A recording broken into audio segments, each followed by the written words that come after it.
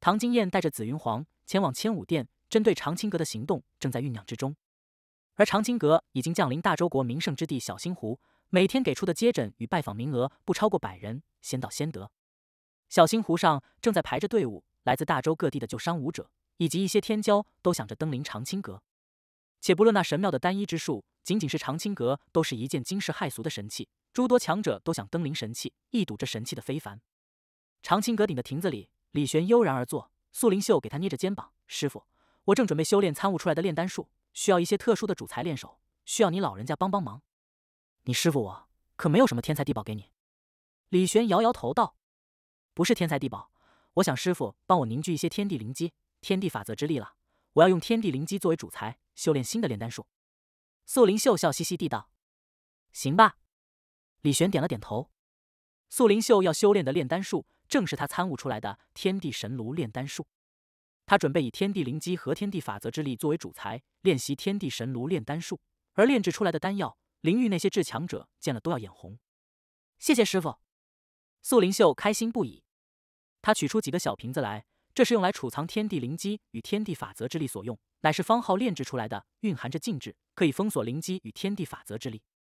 李玄抬手一抓，天地灵机在他手中凝聚，不断的注入一个个小瓶子里，连天地法则之力都能抓取凝聚而来，天地灵机更是不在话下。素灵秀将瓶子塞住，封禁开启，将天地灵机牢牢锁在瓶子里，又取出几个小瓶子来，李玄抬手一抓。天地法则之力凝聚而来，每一个小瓶子里都注入了一丝法则之力。之所以每个瓶子都只注入一丝，是担心法则之力太多了，素灵秀掌控不住。毕竟他第一次以法则之力炼丹，而且是用来修炼新的炼丹术的。谢谢师傅，素灵秀兴奋不已，将小瓶子收起，迫不及待的去炼丹了。至于来访的武者，自然交由十二三人接待。月儿忙着给他打下手，没有空理会这些杂事。至于彩铃儿，与李玄侍女无异了。一直都是在伺候李玄，甚至开始学习怎么制作美味的灵膏之类的吃食了。长青阁非洲阵法已经开启，想要登临长青阁，只能从门户里进来，而且需要获得允许才可以。十二与孟叔叔直接在入口处给武者诊疗，甚至不让进来了，没有伤在身的直接让离开。该霸道的时候就该霸道，长青阁有这个底气。轰！骤然之间，长青阁非洲的一处专门为素灵秀准备的炼丹室里传来了轰鸣之声。仿佛什么炸开了，嗨嗨！月儿原本嫩白的脸上都已经被熏黑了，咳嗽的时候还有黑烟冒出来。萧姐，周英吃了一惊，慌忙冲入炼丹室里。素灵秀头发有些凌乱，不过并没有受伤，一脸郁闷之色。竟然炸炉了！月儿更是被焦黑的灵药熏黑了。周姨，我没事。素灵秀摇了摇头，取出另一个瓶子，准备第二次炼制。月儿凑了过来，手里拿着灵药。随时准备按照素灵秀的吩咐将灵药投入其中。周英一见，只能退出炼丹室。他实力弱，一旦发生炸炉，素灵秀还要护着他，反而更危险。呼！素灵秀双手一挥，神元化作一个丹炉，丹焰焚烧着，一缕天地灵机背地投入丹炉，慢慢的将封禁灵机的禁制解开。砰！炼丹室里一声轻响，又失败了。素灵秀看着手里漆黑的丹药，这是一枚废丹，有些可惜地道：“赤猫不在。”不然这丹也不会浪费了。经过三次失败之后，素灵秀终于用天地灵机炼制成功了丹药，她兴奋不已，而玉儿更是兴奋。这意味着她可以更快速、更轻松的凝练天地灵机入神魂了。天地灵机其实无处不在，这些灵药也蕴含着天地灵机，否则不可能成为灵药。只是所蕴含的天地灵机是非常稀薄的，品阶越高的灵药，蕴含的天地灵机越多。只是灵药一旦被摘取，灵机就会消散。必须想办法在采摘灵药时，可以将灵药蕴含的灵机彻底封锁住，不会消散。只有如此，才能依靠灵药摄取其中的灵机，炼制出丹药来。素灵秀看着手里的天地灵机丹，若有所思地道：“他可以找师傅凝聚天地灵机来炼丹，若是无法凝聚天地灵机，岂非无法炼制？所以需要找一个折中的方式，哪怕丹药效果差一些，但至少能够不依靠强者协助，也能炼制出同类丹药来。”至于天地法则之力炼丹，这个没办法，必须要靠强者协助凝聚天地法则之力才行。不一定要靠山，兴许可以靠阵法布置阵法凝聚天地法则。素灵秀沉吟了一下，决定让方浩钻研一下如何以阵法凝聚天地法则。长青阁外排着长长的队伍，其中不乏大周国的天骄以及身份不俗者，竟然被如此慢待，心里自然有怨言。但十二与孟叔叔充耳不闻。李玄继续投入武道大业中，神通五点上又增加了一门神通，破虚境之上的境界，理论框架进一步完善。肉身武道的后续修炼功法已经有了修炼的方向，且编出来了一重。你徒弟许言，明悟会渐进修炼之路，你突破会渐进。大道经书翻开，金光涌现而出。李玄不由得一怔，旋即就激动不已。如此玄乎的会渐进，如此难以明悟的见到第三境。许岩竟然已经找到了修炼的方向。这一刻，他见到突破第三境玄之又玄的意境浮现，这就是会渐进啊！李玄心里感叹：不愧是自己编出来的剑道第三境，玄乎而不可思议。修为没有突破，然而见到踏入会渐进，实力却又有了巨大的提升。一念之间，小星湖上一柄水剑凝聚而成。这柄剑仿佛有了灵智一般，仿佛天生掌握了水之剑道。小星湖的一处岸边上。一名八九岁的小男孩正在手持一柄剑挥舞，嘴里喃喃着：“我要做第二个许言，我也要做剑道强者。”小朋友，你很喜欢剑道吗？骤然之间，一道声音传来。小男孩抬头看去，顿时瞪大双眼，一脸震惊之色。在他面前，一柄水剑竖立，甚至扭动着剑身，剑柄上仿佛有一张口，正在说话。能说说你为何喜欢剑道吗？你，你是，你是什么？小男孩有些吃惊。却并没有被这一幕吓跑。我是水剑呀，掌握水之剑道哦。那你可以教我吗？可以是可以。你先说说为何喜欢剑道。我偶像是许岩，我要像许岩一样，将来去赌灵宗山门挑战。小男孩兴奋地道：“不错，不错，有志气。来握着我，带你领悟剑道。”水剑满意的点头道。小男孩兴奋不已，上前双手握住了水剑剑柄，带着水剑回家去了。结果小男孩刚回到家，便发现家里正在爆发战斗。原来是仇家找上门来了，他的父母正在竭力抵抗，但已是伤痕累累。这儿，快逃！他娘一见，顿时慌乱的叫道：“我不逃，你们都给我死！”小男孩手持水剑冲了上去，冲向其中一个敌人。小朋友，跟着我的感觉走，带你走入剑道的世界。水剑的声音传来，小男孩这一刻心神仿佛进入了一个玄妙的意境中，不是他在用剑，而是剑在传他剑道。杀！细细柔柔的剑光。宛若涟漪荡漾，柔软如水，却蕴含着凌厉的杀伐。不过瞬息之间，所有敌人都被斩杀一空。小男孩沉浸在剑道的玄妙之中，而他的父母已经惊呆了。会剑之妙啊！李玄心里感叹一声，凝聚了一把水剑，然后将水剑放了出去。结果，水剑带一个小男孩进入了剑道的世界，开启了他的剑道天赋。十几年后，这灵域会出现一位剑道天骄。心情大好的李玄抬手一抓。天地法则之力凝聚而来，被他随手凝练成了一枚法则之丹，给你了。随手就抛给了端上来一叠灵膏的彩铃儿。谢谢前辈。彩铃儿一怔之下，激动不已，慌忙接过法则之丹，纳入了神魂之中，细细参悟，慢慢炼化，越发为自己的决定感到明智。果然，留在高人身边才是最大的机缘。李玄拿起一块灵膏放入嘴里，点头道：“味道不错。”彩铃儿一听，心里更坚定了。一定要多学几手制作点心的手艺，只要前辈吃得开心，随手一点赏赐便是莫大的机缘啊！彩灵儿退下参悟神魂里法则之丹了，而李玄喝着灵茶，吃着灵膏，继续自己的武道大业。李玄骤然抬头，撤去了非洲阵法。师傅，我回来了。长青阁外，孟冲带着紫韵踏步而来，看着长青阁，一脸惊奇之色。这就是师弟炼制出来的非洲，当真是神奇。紫韵拜见前辈。紫韵恭敬的行礼道：“嗯。”李玄点了点头。这姑娘估摸着会成为二徒媳了。抬手一点，当初赠送给紫韵的玉符被他注入了一道神通。谢前辈厚赐。紫韵欣喜的行礼道：“当初遭遇围杀，若不是孟冲出手，他就要激发这枚玉符拼命了。不过这枚玉符的威力如何，他也不清楚，大抵是可以镇杀炼神天人。如今前辈加持了玉符，以后遇到至强者也不惧了。”孟冲正准备带紫韵去与素灵秀叙旧，他突然眉头一挑，刀骤然出鞘，抬头看向半空，冷哼一声道：“敢来此放肆！”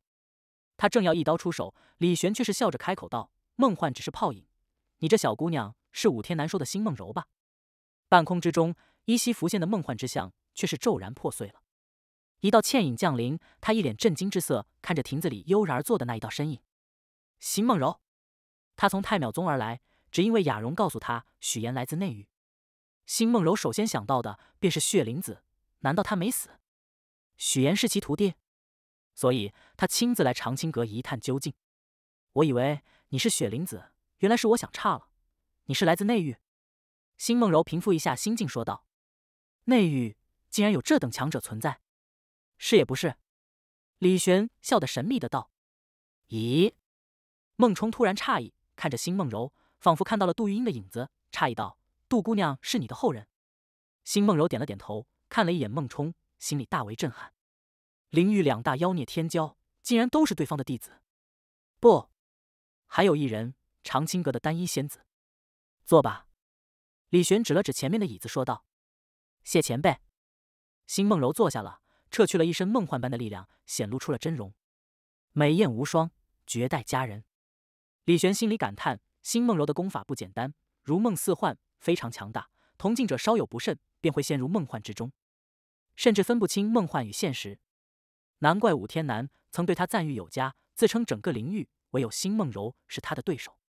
李玄也有些明白了，许岩找到了会剑之路，恐怕与星梦柔的这梦幻有关。此来为何事？李玄淡然的问道。一，许岩说我在他师傅面前只是一只蝼蚁。二，想要看一看来自内域的强者是否是曾经的一位故人。星梦柔也不隐瞒，他是一个直言快语的人。那此刻觉得如何？李玄微微笑着，神秘气息若隐若现。辛梦柔深吸一口气，道：“前辈深不可测，哪有什么深不可测？我不过一普普通通的闲散之人罢了。”李玄摇头笑着，神秘气息消失，他宛若一个普普通通的人。然而越是如此，辛梦柔越是大受震撼，越觉得他深不可测。彩铃儿没有继续参悟与炼化法则之丹，而是走了过来，在李玄一般伺候着，给辛梦柔斟了一杯茶。辛梦柔看着他。心里大为震动，你的神魂里为何有如此强大的法则之力？彩灵儿刚刚在参悟法则之丹，尝试着炼化，所以这会儿有一丝丝法则气息透露而出，使得辛梦柔感应到了他神魂中蕴含的法则之力。是前辈赏赐给我的。彩灵儿一脸荣幸之色的说道。星梦柔心里震惊不已，天地法则之力也可以赐给人，不值一提的东西罢了。李玄却是摇了摇头说道。抬手一抓，天地法则之力被摄取了过来，凝聚成一枚枚法则之丹，随手就扔在了桌子上，满脸不在乎地道：“你若是需要，拿去便是了。”星梦柔已经震惊的说不出话来了，随手扒拉一下，一枚枚天地法则凝练成丹丸，这是何等手段？蜈蚣不敢领前辈赏赐。星梦柔平复一下震惊的情绪，恭敬的说道。李玄眉头一挑，这星梦柔心性不错，而旁边的彩灵儿就差多了。看到桌子上的法则之丹，眼睛都不眨一下，完全移不开目光。能来此也是机缘，无需客气。李玄笑着说道：“既然如此，多谢前辈厚赐。”星梦柔沉吟了一下，取了两枚天地法则之丹，道：“两枚足矣。”李玄点了点头，随手一挥，余下的法则之丹被他扔给了素灵秀，让徒弟慢慢钻研去吧。彩莲儿一脸失望之色：“贪多嚼不烂。”李玄哑然一笑的说道。彩莲儿贪心了，彩莲儿羞愧的低下脑袋。星梦柔沉吟了一下，恭敬的问道：“晚辈修炼之武道，不知道前辈可有指点？”他已经走到了灵域之巅了，想要再进一步，太难太难了。不过有了法则之丹，倒是距离下一个境界更靠近了。李玄微微一笑，道：“是梦时即梦，是梦时也非梦；梦幻亦现实，现实亦梦幻，如幻如真，是梦非梦，是真非真。”一顿玄之又玄的指点之后，在星梦柔若有所思又有些懵逼的眼神中，李玄最后说道：“若你能明悟此中玄妙，便可走出属于你自己的道，超脱你所修武道之法的桎梏。届时的你，也可说是某一道的祖师了。”至于星梦柔能否做到，李玄并不在意。能够做到，那就是全靠自己这个高人的指点；做不到，那就是他悟性不行，把握不住机缘啊。不论如何，自己都不亏，尽显高人风范。当然，他那一番玄乎的指点。并非没有根据的，也是有些理论在内的。星梦柔心里大为震撼，越是琢磨，越觉得前辈的指点玄妙非凡，仿佛蕴含天地智理。若是当真明悟，似乎真的可以走出属于自己的武道。我修炼的武道乃是太秒神术，古往今来能修炼成功者寥寥无几，而我也是太秒宗近十万年来唯一修炼成功的人。若是我能明悟前辈的指点，将会超脱太秒神术之外，走出堪比太秒神术，甚至比太秒神术更强的武道。星梦柔心里想着。他在太秒宗地位超然，根本原因便是因为修炼成功了太秒神术这一门神妙非凡的武道之术。一想到如此，辛梦柔站起身来，恭敬的行礼道：“辛梦柔拜谢前辈指点。”嗯，李玄点头。既然不是敌人，能来此，得见自己这个高人，获得一些机缘，是很正常的事情。何况杜玉英是辛梦柔血脉，怎么算也有点渊源了。得了指点，获得了法则之丹，又确认了许岩的师傅当真是绝世高人，而非血灵子之后，辛梦柔没有逗留太久，便告辞离去。他要回太邈宗参悟前辈的指点。辛梦柔一走，彩莲儿也回去继续参悟与炼化法则之丹了。紫玉与素灵秀相见，自然免不了一番叙旧。素灵秀给玉儿介绍了彼此，三女就凑在了一起。素灵秀继续在炼制丹药，不过多了一个人打下手，那就是紫韵。孟冲拜见师傅后，讲述自己的在灵域的闯荡，以及一些武道感悟与收获。长青阁外，一名青年走来，随着他的出现，原本排队的众多武者全都让出了位置。在下向明茂，前来拜访丹衣仙子。十二抬头看了一眼青年，紫衣长袍尽显高贵之气，看似随和的神色，却是依然无法完全掩盖其深藏的傲慢。来自大周皇室的天骄，虽然对方身份不俗，可能是大周皇室的某位皇子或者是王子，但十二不以为意。素灵秀现在忙着呢，哪有空见外人？阁主今日没空，改日再来吧。下一位，向明茂眼神有些怒火，自己堂堂大周皇室九脉之一。子王一脉的世子，下一任子王继承者，竟然被如此轻慢。不过他没有当即动怒，毕竟长青阁有些不俗，于是又开口道：“烦请你通报一下，就说大周子王世子来拜访单一仙子。”向明茂心里憋着一股怒气，他何曾如此低声下气过？都说了没空，别说你是子王世子，就算是大周皇来了也不见。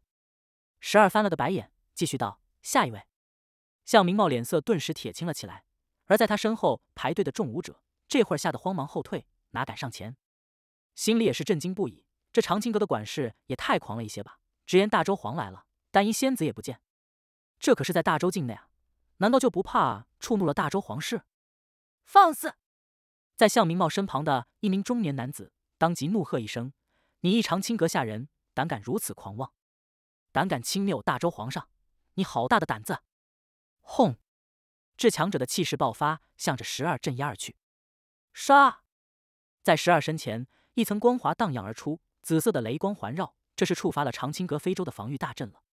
长青阁非洲的大阵虽然是方浩布置炼制，不过李玄也随手增强了一下阵法的威力。哪怕是星梦柔都无法破开长青阁非洲的阵法，除非灵晶消耗殆尽，无法支撑阵法开启。十二老神在在，忽然不在意对方发飙，反而掏了掏耳朵，道：“实话实话而已。今日就算你大周皇来了，也见不到人。”若是你觉得可以在此闹事，你尽管出手试试。这一刻，十二终于体会到了一些强者的快乐。比如许岩，人人都说他狂，但人人都承认他有狂的实力。原来狂是这么爽的。十二心里感叹着道。向明茂与护卫看着荡漾而紫色雷光，不由得双眸一凝。传闻长青阁乃是一件神器，今日一见，果真如此。不要失礼。向明茂皱起眉头，看向自己的护卫，看似呵斥地道。是世子，那名护卫当即收起了气势。既然单一仙子今日不见客，那小王明日再来。向明茂笑着拱手道：“明日，明日来也没用啊，依然不见外人。”十二面无表情地道。向明茂忍着一股怒气，但没有发作出来，而是问道：“不知道单一仙子何时有空见客？”我怎么知道？我又做不了主。十二翻了个白眼道：“那模样看得向明茂险些差点情绪失控。”黑着脸转身离去。今天心情不好，长青阁今日不接诊了。十二一脸不高兴的样子，直接开启阵法，关闭了接诊门户，转身就走。心里却是爽的不行。我虽然不是强者，但也体会了一把强者的快乐。向明茂之事只是个小插曲，没有人在意。正如十二所言，哪怕大周皇来了，也见不到苏灵秀。向明茂吃了闭门羹的事情，在小星湖传开，大周武者们都在等待着向明茂这位子王一脉的世子。大周皇室天骄之一是否会咽下这口气？隔了一天，向明茂又来了。这一次接诊的是孟叔叔，十二修炼去了。在下大周子王世子向明茂前来拜访单一仙子。一边说着，一边将一个盒子递了过去。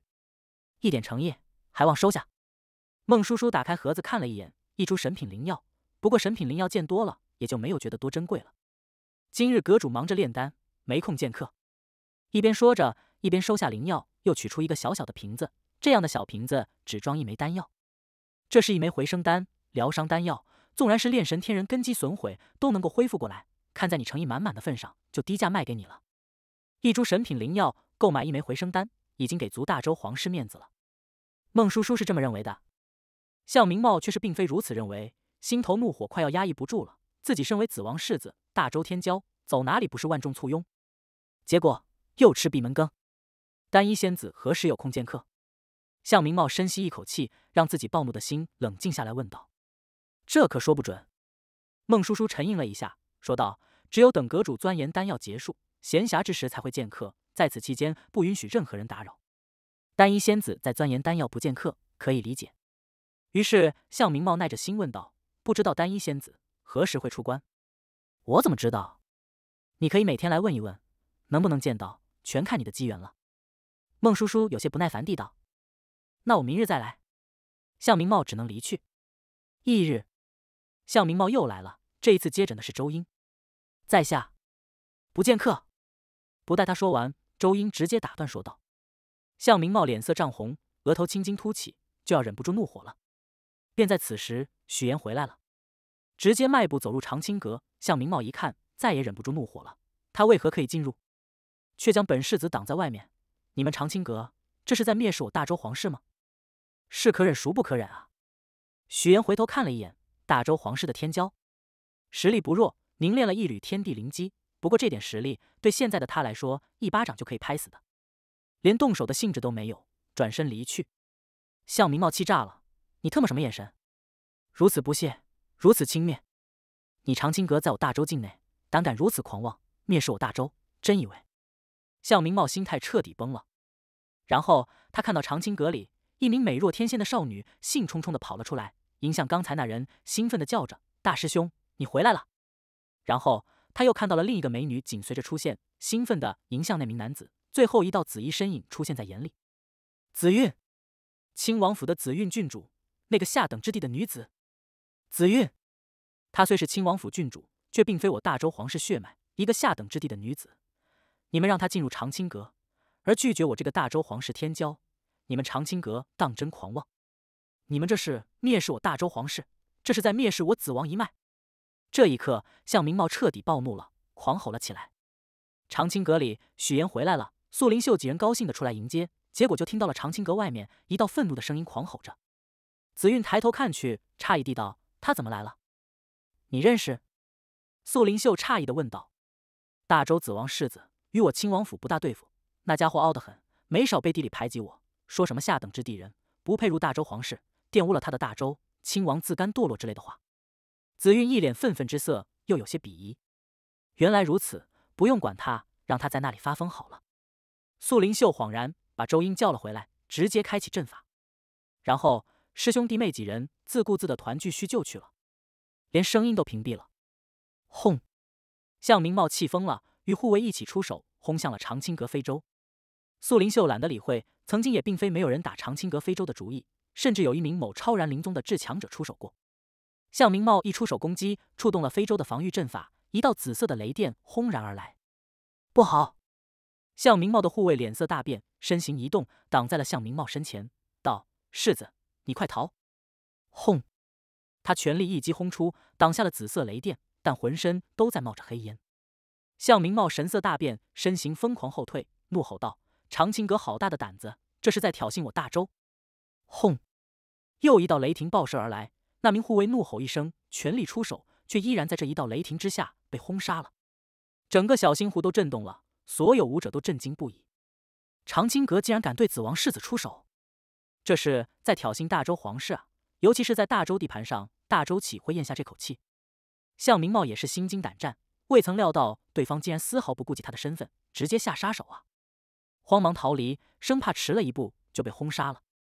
小星湖轰动了，大周皇室一名至强者竟然被长青阁击杀了，而大周皇室天骄子王世子险些被杀，狼狈逃离。消息传出，大周各大势力都震惊不已。这是在挑衅大周皇室啊！长青阁当真好大的胆子，难道如此自信可以抵抗住大周皇室的报复？原本准备来长青阁拜访，甚至来求诊的武者，顿时吓得不敢再前往了，都在观望着事态的后续发展。而这些风波，不论是素灵秀还是许岩、孟冲，都全然没有放在心上，一个凝练了天地灵机的至强者而已，死了也就死了，又不是第一次杀至强者了。紫韵有些担忧地道：“大周皇室很强的，会不会有麻烦？”当然，他虽然有些担忧，并没有觉得会存在危险，而是觉得可能会出现一些麻烦而已。小事一桩，是他自己攻击的，还不能反击了不成？素林秀不以为意的道：“没错，若是大周皇室不服，我去堵他皇宫大门，打到他服为止。”许岩点头赞同道。紫韵啧舌，这才想起来，许岩可是前几年就赌千武殿山门挑战的猛人，如今实力显然更强的不可思议了。长青阁非常热闹。许岩讲述自己在大川州的经历，以及斩杀了千武殿的掌刀长老，将从千武殿的冷绝刀以及另一件神器取了出来，送给孟冲道：“师弟，你看这刀是否合适？”孟冲掂量了一下，道：“这刀看着虽然不错，我还是用师弟炼制的刀更趁手，不过也能用得上。我琢磨着弄个刀阵出来。”见识到了大师兄的剑阵之后，孟冲也动了心思，琢磨起了刀阵。长青阁里热热闹闹，而千武殿山上。千武殿主等一众长老神色凝重无比。许岩来自内域，孟冲也是来自内域。如此说来，许岩与孟冲的背后，难道是血魔？血魔之祸乃是灵宗的心头刺，三落三起，仿佛杀不死一般。若真是血魔东山再起，那必然更危险。懂得隐藏自身了，懂得谋而后动，培养出了如此妖孽的弟子。超然灵宗也该聚一聚了，通知雷云山庄、玉灵府、太邈宗、大周相家，共商大事。千武殿主目光冷冽的说道：“是。”掌刀长老已经有段时间没有讯息了，他心中有些不安。难道出了意外？是许岩杀了他，还是许岩背后之人？若是掌刀长老真的陨落，千武殿主倾向于后者。这才几年而已，许岩绝无可能具有杀掌刀长老的实力。灵域某处，云端之上，千武殿主手里提着一人而来。雷云山庄庄主、玉灵府府主、太邈宗宗主、大周皇室来的乃是子王。你通知我等来此，所谓何事？雷云庄主沉声问道。天骄争锋之事就按规定进行，我太邈宗不会支持违反规矩的。太邈宗主沉声说道。天骄争锋之事于太邈宗而言，既然是星梦柔做了决定，谁也无法更改，并非此事。千武殿主沉声道：“我怀疑血魔归来了。”此言一出，在场所有人都是神色一变。此言当真？子王神色一惊的问道。血魔绝无可能归来，我师叔当年已将其击杀。太邈宗主冷声说道，冷冷的看向千武殿主：“你有何证据？”此人是在上次灵域之门开启时从内域而来。目前已知的消息是，许岩来自内域，孟冲来自内域，长青阁也是来自内域，他们是同门中人。千武殿主提起紫云皇，沉声说道。玉灵府主与子王看向紫云皇，沉声问道：“此言当真？”紫云皇神色惨白，心肝都发颤。事到如今，还如何能隐瞒？许岩确实来自内域，孟冲也是来自内域。他们在内域是天骄，无敌的天骄。他们是师傅，乃是高人，神秘高人。千武殿主沉声道：“内域下等之地，你我都应该清楚。除了昔年遁入内域的血魔，哪里来的高人？许岩背后之人，必然是昔年血魔无疑。”玉灵府主与子王点头，神色凝重无比。除了血魔，内域何曾有高人？绝无可能，血魔早已死了。我师叔亲自埋葬的。许岩与孟冲来自内域，此事我师叔也知晓，曾探查过了，绝非血魔。太邈宗主摇头道。雷云庄主神色凝重的开口道：“我雷云山庄与长青阁有些来往，曾求诊单一仙子，曾见过那一位。我认同太邈宗主所言，他绝非血魔，而是天尊。”说到最后，雷云庄主声音低沉道：“天尊之来由有何目的？不是你我可以窥探的。此事我雷云山庄不会参与。”玉灵府主几人神色一变，惊声道：“此言当真？”九成把握。雷云庄主郑重地道：“竟然不是血魔！”千武殿主一脸难以置信之色。神桥开启在即，若真是天尊，你们还是谨慎一些。天尊之怒，你们可承受不住。太邈宗主转身离去。血魔已死，毋庸置疑。天尊之事，慎重为上。子王沉吟了一下，说道：“旋即也转身离去。”若当真是天尊能够无视某些规矩而逗留内域灵域，此天尊之实力乃至身份都不简单。此事到此为止吧。玉灵府主也转身离去。千武殿主脸色阴晴不定，有些不甘，提着紫云皇返回。半路上，随手将紫云皇扔了下去，阴沉着脸返回千武殿。只是半途突又折返而来，在紫云皇惊恐的目光中，一击将紫云皇彻底灭杀，尸骨无存。杀完人之后，千武殿主回到了宗门，一众长老围了上来。与血魔无关，但千武殿主将天尊的猜测说了出来，一众长老全都暗自震惊。殿主若真是天尊，他在内域所为何事？还有许言出自内域，其在内域是否存在关联之人？我们一名长老阴险的开口道：“嗯，正有此意。”千武殿主点头，此事不能泄露，秘密而行。你们两个去开启灵域之门，进入内域一趟。点了两名长老说道：“是，殿主。”那两名长老点头。唐金燕如何处理？长剑长老沉声问道。杀了吧。一名长老开口道：“留着，兴许还有些用处。”千武殿主沉吟了一下，说道。接着叮嘱被派去内狱的两名长老道：“记住，不是去杀人的，是抓住软肋。只要抓住了软肋，终有用上的时候。只要许言的软肋在我们手里，他越妖孽越好，越强越好。”两名长老露出笑容道。店主所言极是。千武店主让人带唐金燕主仆二人来，一进店门，千武店主手一挥，唐金燕的丫鬟瞬间被轰杀，尸骨无存。唐金燕顿时脸色惨白，满眼惊惧之色，扑通一声跪在了地上。放心，不杀你。千武店主淡然的说道：“此事不得向任何人泄露一分，否则你与水星宫飞灰烟灭。”是是。唐金燕疯狂点头道：“行了，水星宫依附千武殿。”你回去吧，等候吩咐即可。千武殿主挥手道：“是，谢谢上宗大人。”唐金燕惊喜不已。水星宫有了千武殿做靠山，谁敢得罪水星宫？至于长青阁素灵秀之事，他没敢询问。从千武殿主的态度来看，显然是涉及了灵宗的隐秘之事。大周皇都子王将此行之事禀告给大周皇之后，刚回到王府，便得知向明茂险些被杀，而护卫更是直接死了。向明茂狼狈逃了回来。父王，他们这是挑衅我大周皇室啊！这是挑衅我子王一脉，动用我大周强者灭了他们。向明茂双眼血红，愤恨的说道：“是谁？”子王沉声问道。“长青阁。”向明茂咬牙切齿地道：“好，好，好长青阁是吧？真以为我……你说长青阁？”子王正要发怒，突然一怔，沉声问道：“是父王。”向明茂点头。子王沉默了。长青阁的背后疑似有天尊存在啊！这已经不是他能够决定的事情了。长青阁之事，唯有陛下才能决定，非我子王一脉可以擅自而为。你不可妄动，否则容易为子王一脉招惹祸端。毕竟涉及到了疑似天尊的存在，此事已经不是他可以决定的。因此，子王神色严肃地盯着向明茂说道：“父王，难道？”向明茂心里一惊，长青阁的水如此之深。难道自己闯祸了不成？不必多说，此事我会禀报陛下。如何应对此事，还要等陛下定夺。甚至于，子王盯着自己的儿子，沉声道：“甚至于是否需要赔礼道歉，都未可知。”向明茂脸色大变。子王叮嘱他不可离开子王府之后，便前往皇宫，将此事禀告给大周皇知晓。大周皇室的报复并没有到来，似乎大周皇室浑然不知道，有一个至强者陨落在了长青阁之手。就连子王府也没有任何动静，这使得不少大周势力与武者嗅到了不寻常的气息。长青阁背景不简单，就连大周皇室都不会因为一次小冲突而展开报复。我就说嘛，单一之术如此神妙，岂会没有人心动？岂会没有灵宗眼红？这长青阁不得了！没错，其余超然灵宗且不说，千武殿的无耻作风，岂会不动心？早就动手了才是。而长青阁自己逍遥自在，必然有其强大的底气。长青阁可是一件神器啊！极大超然灵宗，哪一个有如此不可思议的神器？大周武者议论纷纷，原本正在观望的一些势力与武者，当即动身前往长青阁求诊或求购丹药。长青阁自然又热闹了起来。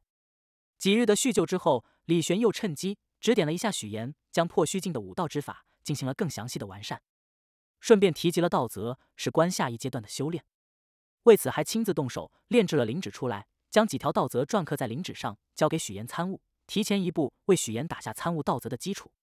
道则毕竟深奥玄妙，哪怕是篆刻几条图文，也非比寻常，一般的东西根本无法承受住。所以李玄才亲自动手炼制灵纸来承载篆刻的道则图文。我距离神元境圆满只差半步了，也该为积聚底蕴、突破神通境做准备。谢兄去了云天碧海城，我准备去一趟，将功法传给他。许岩说出了自己下一步的目标。传闻碧海有神物，若是可以得到，积蓄底蕴就简单多了。我会在天骄争锋决战之前回来的。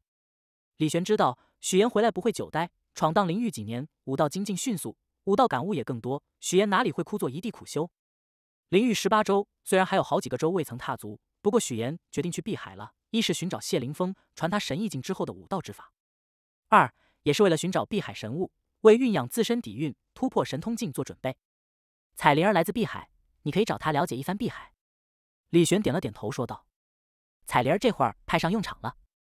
他是海灵族，而且以彩灵儿的实力，在海灵族里地位不低。”师傅，我知道了。许岩迫不及待的想要前往碧海了，当即就去找彩灵儿了解碧海相关之事。碧海辽阔。岛屿无数，目前是云天碧海城与我海灵族共治。碧海灵物很多，也传闻有神物存在。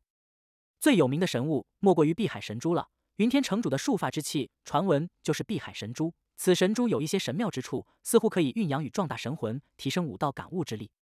当然，我没有获得过，所以具体是否如此也不确定。彩灵儿知无不言，详细的介绍碧海的情况。碧海绝渊是兄弟，传闻神物都产自那里。我曾远远看过。太凶险了，没敢涉险靠近。别的地方有没有神物，我不敢确定，但绝渊有九成以上的可能是存在神物的。不过，我劝你不要靠近，那里是真正的绝地，我海灵族遇水而行，碧海种族都不敢轻易冒险进入其中。许岩点头，他记住了碧海绝渊，那里很有可能存在神物。至于彩莲儿说的凶险，许岩自然不会贸然进入。不过他与灵域武者不同，手段更多，更玄妙，真身不入。神元化身进入一探便是了，即便遭遇危险，也不过是损耗了那一部分神元而已，小事一桩。碧海除了绝渊之外，还有其余一些凶险之地，但都远不如绝渊，存在神物的可能性也大大降低。除了碧海绝渊之外，还有一处地方也存在神物，只是非常难以找寻。传闻里面有碧海神珠的存在。彩莲人想了一想，说道：“碧海黑潭是碧海一处特殊之地，若说凶险，其实也存在。”因为深入其中，存在一定的几率会迷失方向，尤其是对于人族而言，危险就更大了，甚至会被困在里面。按照彩灵儿的说法，碧海黑潭并非真的是一处深潭，之所以名叫黑潭，是因为碧海有一处海域，漆黑如墨，宛若黑潭一般。进入其中，不但视线受到阻隔，无法看得远，就连神魂之力探寻的范围也大大缩短。正因为黑潭的特殊，所以哪怕有神物，也不容易找到，全凭运气与机缘了。切记不可深入。否则恐有迷失之危。你自以为是向海上浮起来，实则是向下沉去，或者飘向另一边。而且传闻黑潭里有一些特殊的东西会袭击进入者，虽然大部分实力不强，但黑潭深处未必就没有强大的存在。彩铃正色说道。许岩点头，记下了这些个地方。去了碧海之后，都要一一探索。我曾经听海灵族一位老前辈说过，黑潭疑似一处古战场遗留，所以才会如此特殊。彩铃最后又补充了一句。接着，他取出一个晶莹的小海螺，以及一枚小贝壳，贝壳上篆刻着花纹，中间是“彩铃”二字。这是我的信物，如果有需要，可以吃我的信物找海灵族相助。这个小海螺，你如果迷失了方向，或者想要打探去处，可以吹响这个海螺。如果附近有海灵，就会循声而来，给你指明方向。许岩接过海螺与贝壳，拱手道：“多谢了。”不用客气。彩灵儿一脸笑容的道：“这点东西算得了什么？与前辈赐予的机缘相比。”根本不值一提。许岩再次踏上了行走灵域之路。此次他前往碧海寻找谢凌峰，也为了寻找碧海神物。孟冲摸着脑袋，带我游历完其余几个州，也去碧海转转。素灵秀也动了心思，他决定了长青阁接下来的行程，一路往碧海而去。长青阁飞舟腾空而起，前往大周京城。大周皇室没有任何动静，显然是知道理亏，没打算报复。李玄坐在亭子里，此刻只有孟冲在。大日不灭金身之后的修炼之法，也该传给孟冲了。肉身武道的后续修炼也编了出来。师傅，孟冲恭敬地道：“大日不灭金身，你已经明悟了。对于肉身武道往后的修炼，你可有什么感悟？”李玄点了点头，问道：“师傅，我愚钝，对于大日不灭金身往后的修炼，没有什么感悟。”孟冲挠了挠光秃秃的脑袋，道：“今日为师便传你大日不灭金身之上的修炼之法。”李玄点了点头，对此并不意外。若是孟冲对往后的肉身武道修炼有感悟，岂非已经不需要他编功法了？谢师傅！孟冲顿时惊喜不已。大日不灭金身已经强大无比，尽显肉身武道的彪悍。以他如今的实力，哪怕站着不动，凝练了天地灵机的武者都无法伤到他分毫。即便动用神器凝练天地灵机的武者，恐怕也只能给他造成轻伤。孟冲甚至怀疑自己的肉身之强悍，已经快要堪比灵宗的神器了。李玄神色肃穆，缓缓说道：“大日不灭金身之上，是为大日星辰不灭体。一敲一星辰，星辰环绕大日，自有规律。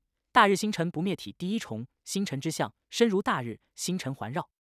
大日不灭金身的后续武道功法，是为大日星辰不灭体。李玄经过反复琢磨之后，才最终确定了下来。这是为了后续的肉身修炼方向打下的基础。一个金身窍穴，便是一颗星辰，每一颗星辰都蕴含一种玄妙，或是一种神通。如大日不灭金身一样，大日星辰不灭体也是一共三重。第一重对应神相敬，身如大日，星辰环绕。而环绕的星辰乃是窍穴星辰，沟通天地法则而成。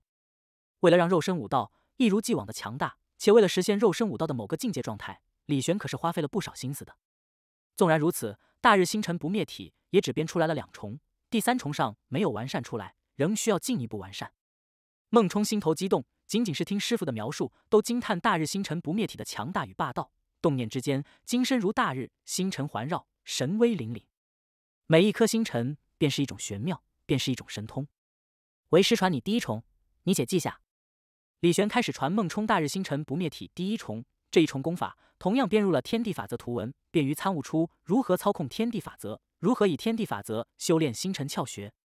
一边传授孟冲功法，李玄看向大道经书给出的信息：大日星辰不灭体第一重，功法完善度中上，境界衔接度高，参悟难度高。修炼难度高，功法完善度尽可能的维持在中上，境界衔接度倒是提高了不少。李玄讲述了一遍大日星辰不灭体后，又讲述了一遍，让孟冲彻底铭记下来。孟冲在细细参悟着，将功法彻底铭记，不遗漏一丝一毫，一句一字。等到孟冲将第一重功法消化完毕，李玄开始传他第二重功法——大日星辰不灭体第二重，功法完善度中上。境界衔接度中上，参悟难度高，修炼难度高。大日星辰不灭体第二重与第一重的境界衔接度，李玄花费了不少时间，也才提升到了中上的水平。不过也足够了，只要孟冲参悟出来了大日星辰不灭体第一重，自然也能参悟出第二重来。中上等级的境界衔接度，无非要多花一些时间参悟罢了。同样的，大日星辰不灭体，李玄讲述了两遍。并且挑重点又详细讲解了一番，让孟冲能够彻底铭记消化。便传你大日星辰不灭体二重吧，第三重待你参悟出第一重来了，再传给你吧，以免你无法铭记。传完二重功法之后，李玄挥挥手说道：“是师傅。”孟冲恭敬行礼，便告退离去，找个地方沉淀一下，细细参悟一遍，彻底铭记下功法，避免有所遗漏。长青阁飞舟已经降临了大周皇都外某处空地上，一座小庄园骤然而立。长青阁的阁楼分外瞩目。长青阁来了，大周京城无数武者等待着大周皇室的动静。长青阁直接来到京城外了。前不久在小星湖击杀了大周皇室一名至强者，此刻又降临大周皇都外，怎么看都似乎有挑衅的意味。虽然众所周知，长青阁四方游荡，也许此来本就是计划好的下一个目的地。然而刚在小星湖发生冲突，这会儿突然就来了黄都，难免让人猜测是否故意来挑衅。这也就导致。长青阁虽然降临了，然而却没有武者前来求诊，显得颇为冷清，都在观望大周皇室的态度呢。这大周皇兜里的人是怎么回事？都没有受伤的武者，或者都对丹药不感兴趣？十二纳闷的说道：“都在等大周皇室表态吧？”孟叔叔笑着说道：“子韵，大周皇都有什么好玩的吗？”苏灵秀好奇的问道：“应该有吧？”子韵有些不确定的样子，又说道：“我与皇室那些家伙不熟。”也懒得去讨好他们，大部分时间都在修炼。不过义父对我倒是很好，我那个王兄去了云天城，我也不知道义父为何送他去云天城。这样吗？素灵秀沉吟了一下，说道：“明天我们去黄都逛逛吧，毕竟是灵域唯一不受灵宗统御的王朝，我也想看看大周皇都有多繁华。”小姐，进入大周皇都会不会有麻烦？周英担忧地道：“能有什么麻烦？我也不怕麻烦啊！大周相家想要找死。”那就去死好了！有师傅在这里呢。素灵秀不以为意地道。周英一想，也有道理。长青阁最不怕的就是麻烦了。这就是大周皇都啊，灵域第一王城啊！来都来了，不去逛逛怎么行？李玄看向大周皇都，也动了去逛一逛的念头。大周子王携逆子前来向单一仙子道歉。素灵秀几人商议着去大周皇都之事，骤然一道声音传来：“子王！”素灵秀诧异，这大周皇室认怂，子王来道歉。那个向明茂就是子王的儿子。子韵说道：“原来如此。”素灵秀点了点头，阵法开启出一道门户，道：“进来吧。”一身紫衣长袍的子王身后跟着一个低着脑袋的青年走了进来，正是向明茂。见过子王。子韵行礼道。他如今也是大周皇室成员，见到子王了，自然要行礼，不敢如素灵秀几人般不以为意。子王点了点头，见过素姑娘。子王抱拳，一脸歉意道：“前些时日，犬子骄横，冲撞了素姑娘，因要事缠身，没有及时向素姑娘道歉，还望不要见怪。今日听闻素姑娘驾临皇都，故携犬子来给素姑娘赔罪。”说完，瞪了向明茂一眼。前些时日我莽撞，冒犯了长青阁，冒犯了素姑娘，向素姑娘道歉赔罪。还望素姑娘大人有大量。向明茂心里一百个不甘愿，然而这是大周皇的决定，他再如何不敢，也只能遵旨而行，否则子王世子之位恐怕都要不保。而看到紫韵站在素灵秀身边，心里又是嫉妒又是不甘，但全都藏在了心底里，不敢显露出丝毫出来。向明茂一边道歉赔罪，一边双手托着一个盒子高举过顶，小事一桩，赔礼就不用了。素灵秀摇头道：“一点赔礼。”还望素姑娘不要嫌弃。子王却是笑着开口道：“如此，谢了。”素灵秀点了点头。周英上前将盒子拿了过来：“我大周陛下欲设宴款待素姑娘，不知素姑娘可否有空应约？”子王又开口说道。素灵秀直接摇头道：“没空，我不喜欢参加宴席。”虽然大周皇姿态很低，不过素灵秀依旧摇头拒绝。既然如此，那告辞。子王点了点头，拱手告辞。带着向明茂离去。子王这么好说话，我可是听说他霸道的很。子韵疑惑道：“只是对弱者霸道罢了，遇到强者自然就霸道不起来了。”孟冲走了过来，说道：“子王很强。”不过孟冲并不怎么在意，以他如今的实力，不会弱于子王丝毫。真战斗起来，败的一方必然是子王。翌日，子韵带着孟冲、素灵秀、月儿与彩莲儿去了黄都。十二与孟叔叔。周英因为自感实力弱，万一出现变故会成为累赘，因此留在了非洲上。李玄此刻已经漫步在大周皇宫里了，心里感叹不已，不愧是堪比超然灵宗的底蕴，这实力不错。大周皇的实力也是很强的。大周皇实力固然弱于星梦柔与武天南，而从武天南口中所知，实力比千武殿主、雷云庄主、玉灵府主都要强上一些。当然，大周皇明面上的实力与千武殿主几人差不多，真不愧是帝皇，都是老鹰比，喜欢藏一手。大周皇并非以功法遮掩自身实力，而是随身携带的一件神器遮掩了自身的真实实力。豫州郑国千武殿的两名长老悄然而来，直接找到了郑皇，带着郑皇来到了开启灵域之门的大殿。开启灵域之门，此事不得传出去，但凡泄露一丝，杀无赦。千武殿长老看向郑皇与镇守大殿的两名武者，沉声说道：“是上宗大人。”郑皇三人额头都快冒汗了，这来的。是超然灵宗的长老啊！大人稍后片刻。那两名镇守武者不敢怠慢，慌忙开启灵域之门，开启一条缝便可以了。一名长老说道：“动静不能太大，为了避免被人察觉，二人都探查了四周一遍，确定没有其余武者存在，不会发现灵域之门的开启。”大人，可以了。一名镇守者说道：“嗯。”千武殿长老穿过大殿，满怀激动的前往灵域之门所在，结果一出大殿。抬头看去，顿时呆住了。灵域之门呢？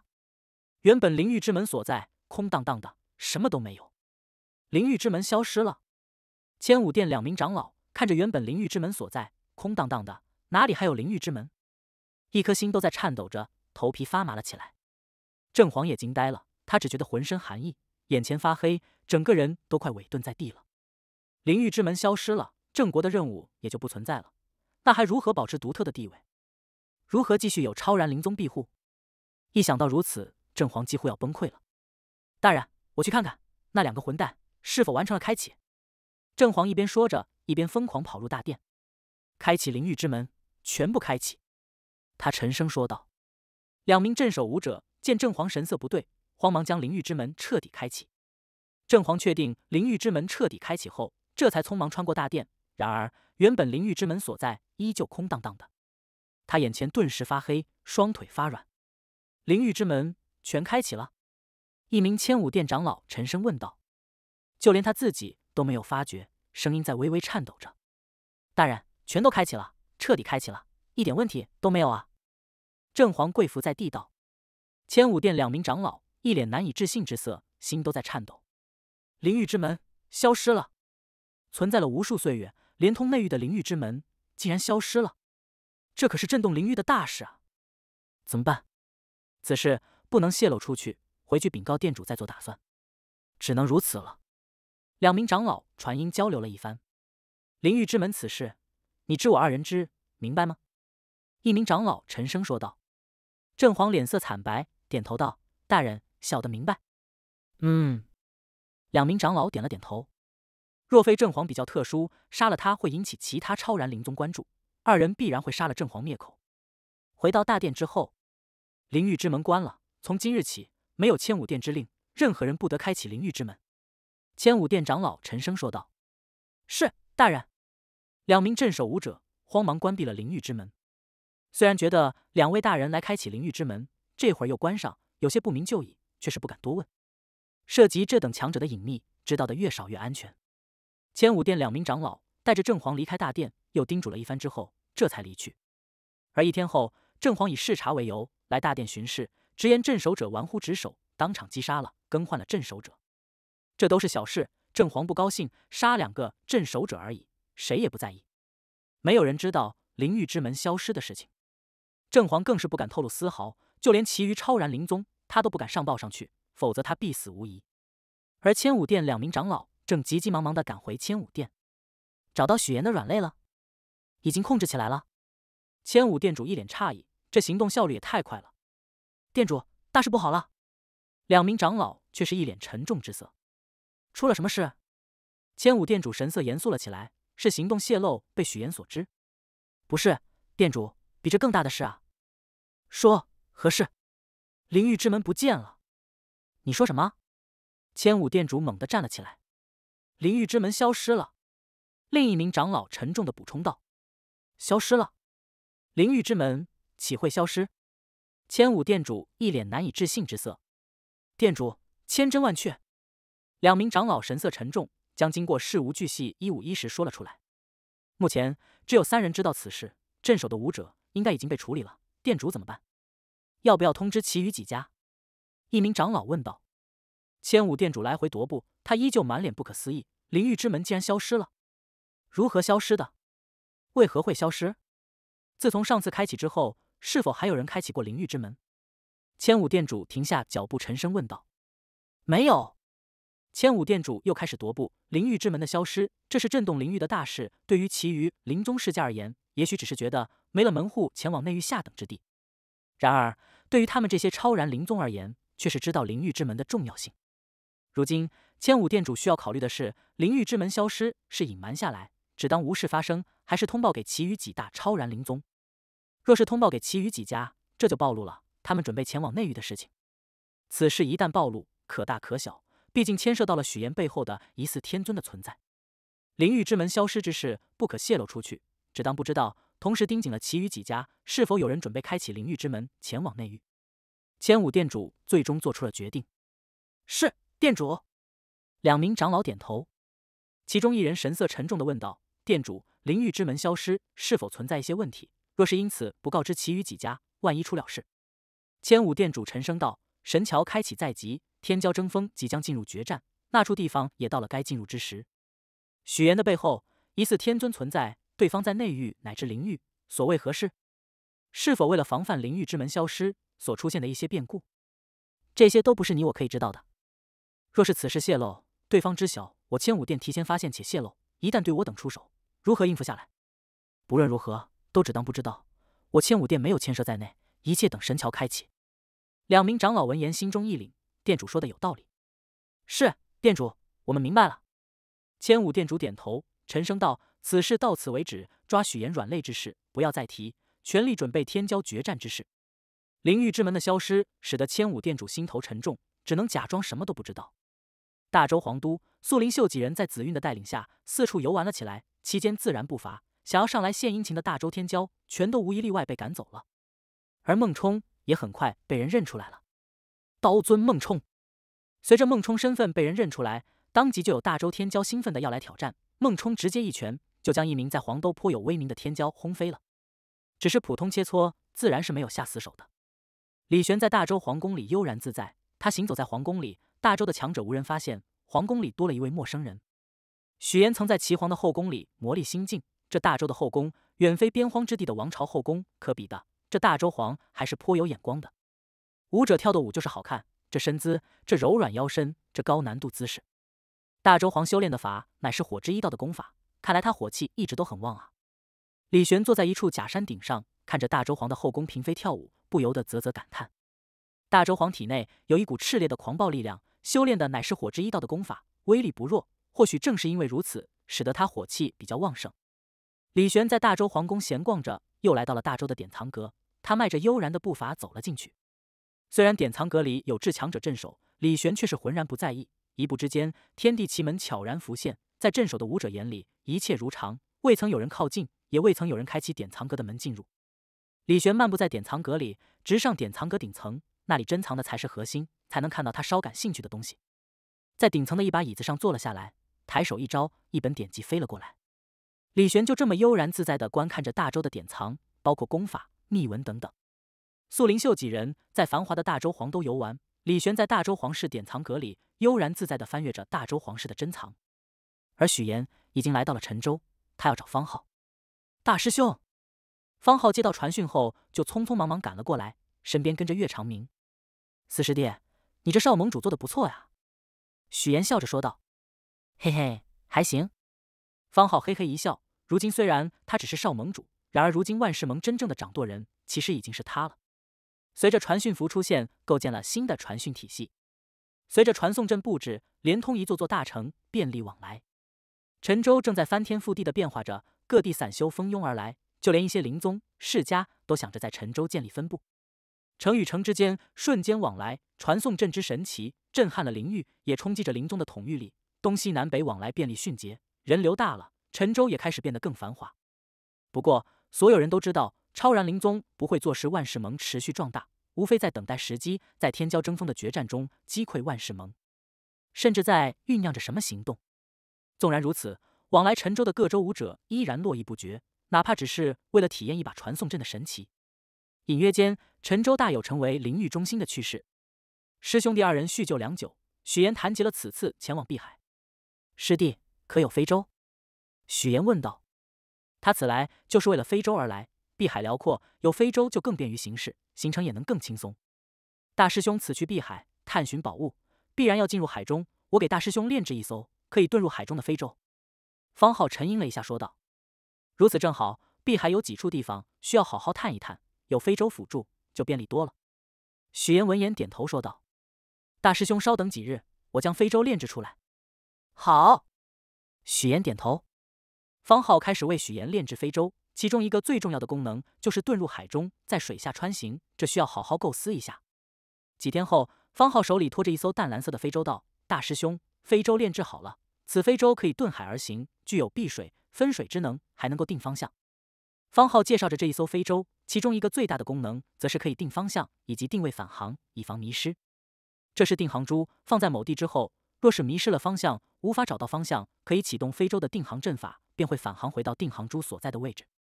方浩取出几枚拳头大小的淡蓝色珠子，说道：“许岩闻言大喜，若是如此，在碧海黑潭里也不用担心迷失方向了。不过阵法也有可能受到干扰，距离越远，无法定航的可能性就越大。”千里之内，定航之力最强，所以大师兄还是要谨慎一些。”方浩提醒道。“明白了。”许岩点头。阵法毕竟也会受到干扰影响的，黑潭干扰之力如何尚未可知，自然需要小心谨慎一些。这非洲既然能遁海，那便叫遁海州吧。许岩手掌托着湛蓝色的非洲说道：“师弟，天骄争锋之前，我会回来的。”许岩笑着说道：“我等大师兄镇压灵域天骄的那一天。”方浩笑呵呵地道。哈哈，灵域这什么天骄榜前四，我们包揽了。许岩一笑，腾空而起，一艘丈许长的飞舟浮现，化作一道蓝光飞遁而去。碧海呀！方浩有些向往的叹了一口气。自从进入万世盟，接任少盟主一位，他就注定了没办法像师兄师姐一般逍遥自在了。羡慕你师兄的逍遥自在、无拘无束了。岳长明笑着说道：“有点，不过很快我也能做到的。”方浩点了点头。万世盟只是他武道路上的一个经历，而不会困死在万世盟里。灵域格局改变了，他就要放下万世盟的事物，走自己的奇门武道之路了。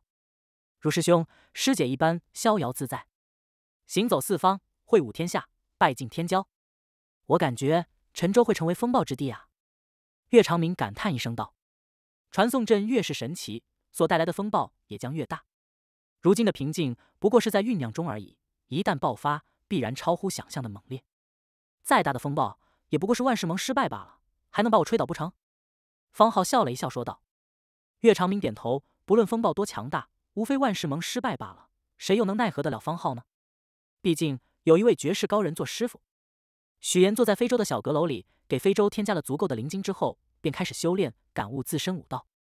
非洲化作一道淡蓝光芒，向着碧海所在的方向飞去，速度比寻常炼神天人巅峰还要快一些。某一天，非洲进入了云雾朦胧的天空之中。许岩睁眼看去，到雾州了呀！雾州，灵域十八州之一，因云雾繁多而得名。也是与碧海相连的州，许岩准备从雾州入碧海，前往云天碧海城，找到谢凌峰，传给他功法后，便去探碧海黑潭，与碧海绝渊。淡蓝色的飞舟在云雾朦胧的天空飞射，没有丝毫停留，准备直接横跨雾州，进入碧海之中。此去碧海，再回十八州，纵然不入神通，也必然神元境圆满。许岩心里想着，若是此行顺利，获得碧海神物，突破神通之前的底蕴积聚也足够了。天骄争锋决战开启前，神元圆满是必然的。希望能够积聚足够底蕴，天骄争锋之后，当即就可以突破神通境。许岩琢磨了一下，自己若是入神通境了，别说灵域的天骄了，整个灵域除了师傅之外，无人是自己对手。一人横推超然灵宗都没有丝毫问题。若是积聚足够底蕴，距离天骄争锋也不差多少时间，那就天骄争锋之后再突破吧，也不差那几天。许岩心里嘀咕了一下，当然。能否如愿在天骄争锋决战到来前积聚足够底蕴，尚是个未知数。纵然顺利获得碧海神物，底蕴的积聚也是需要时间沉淀的。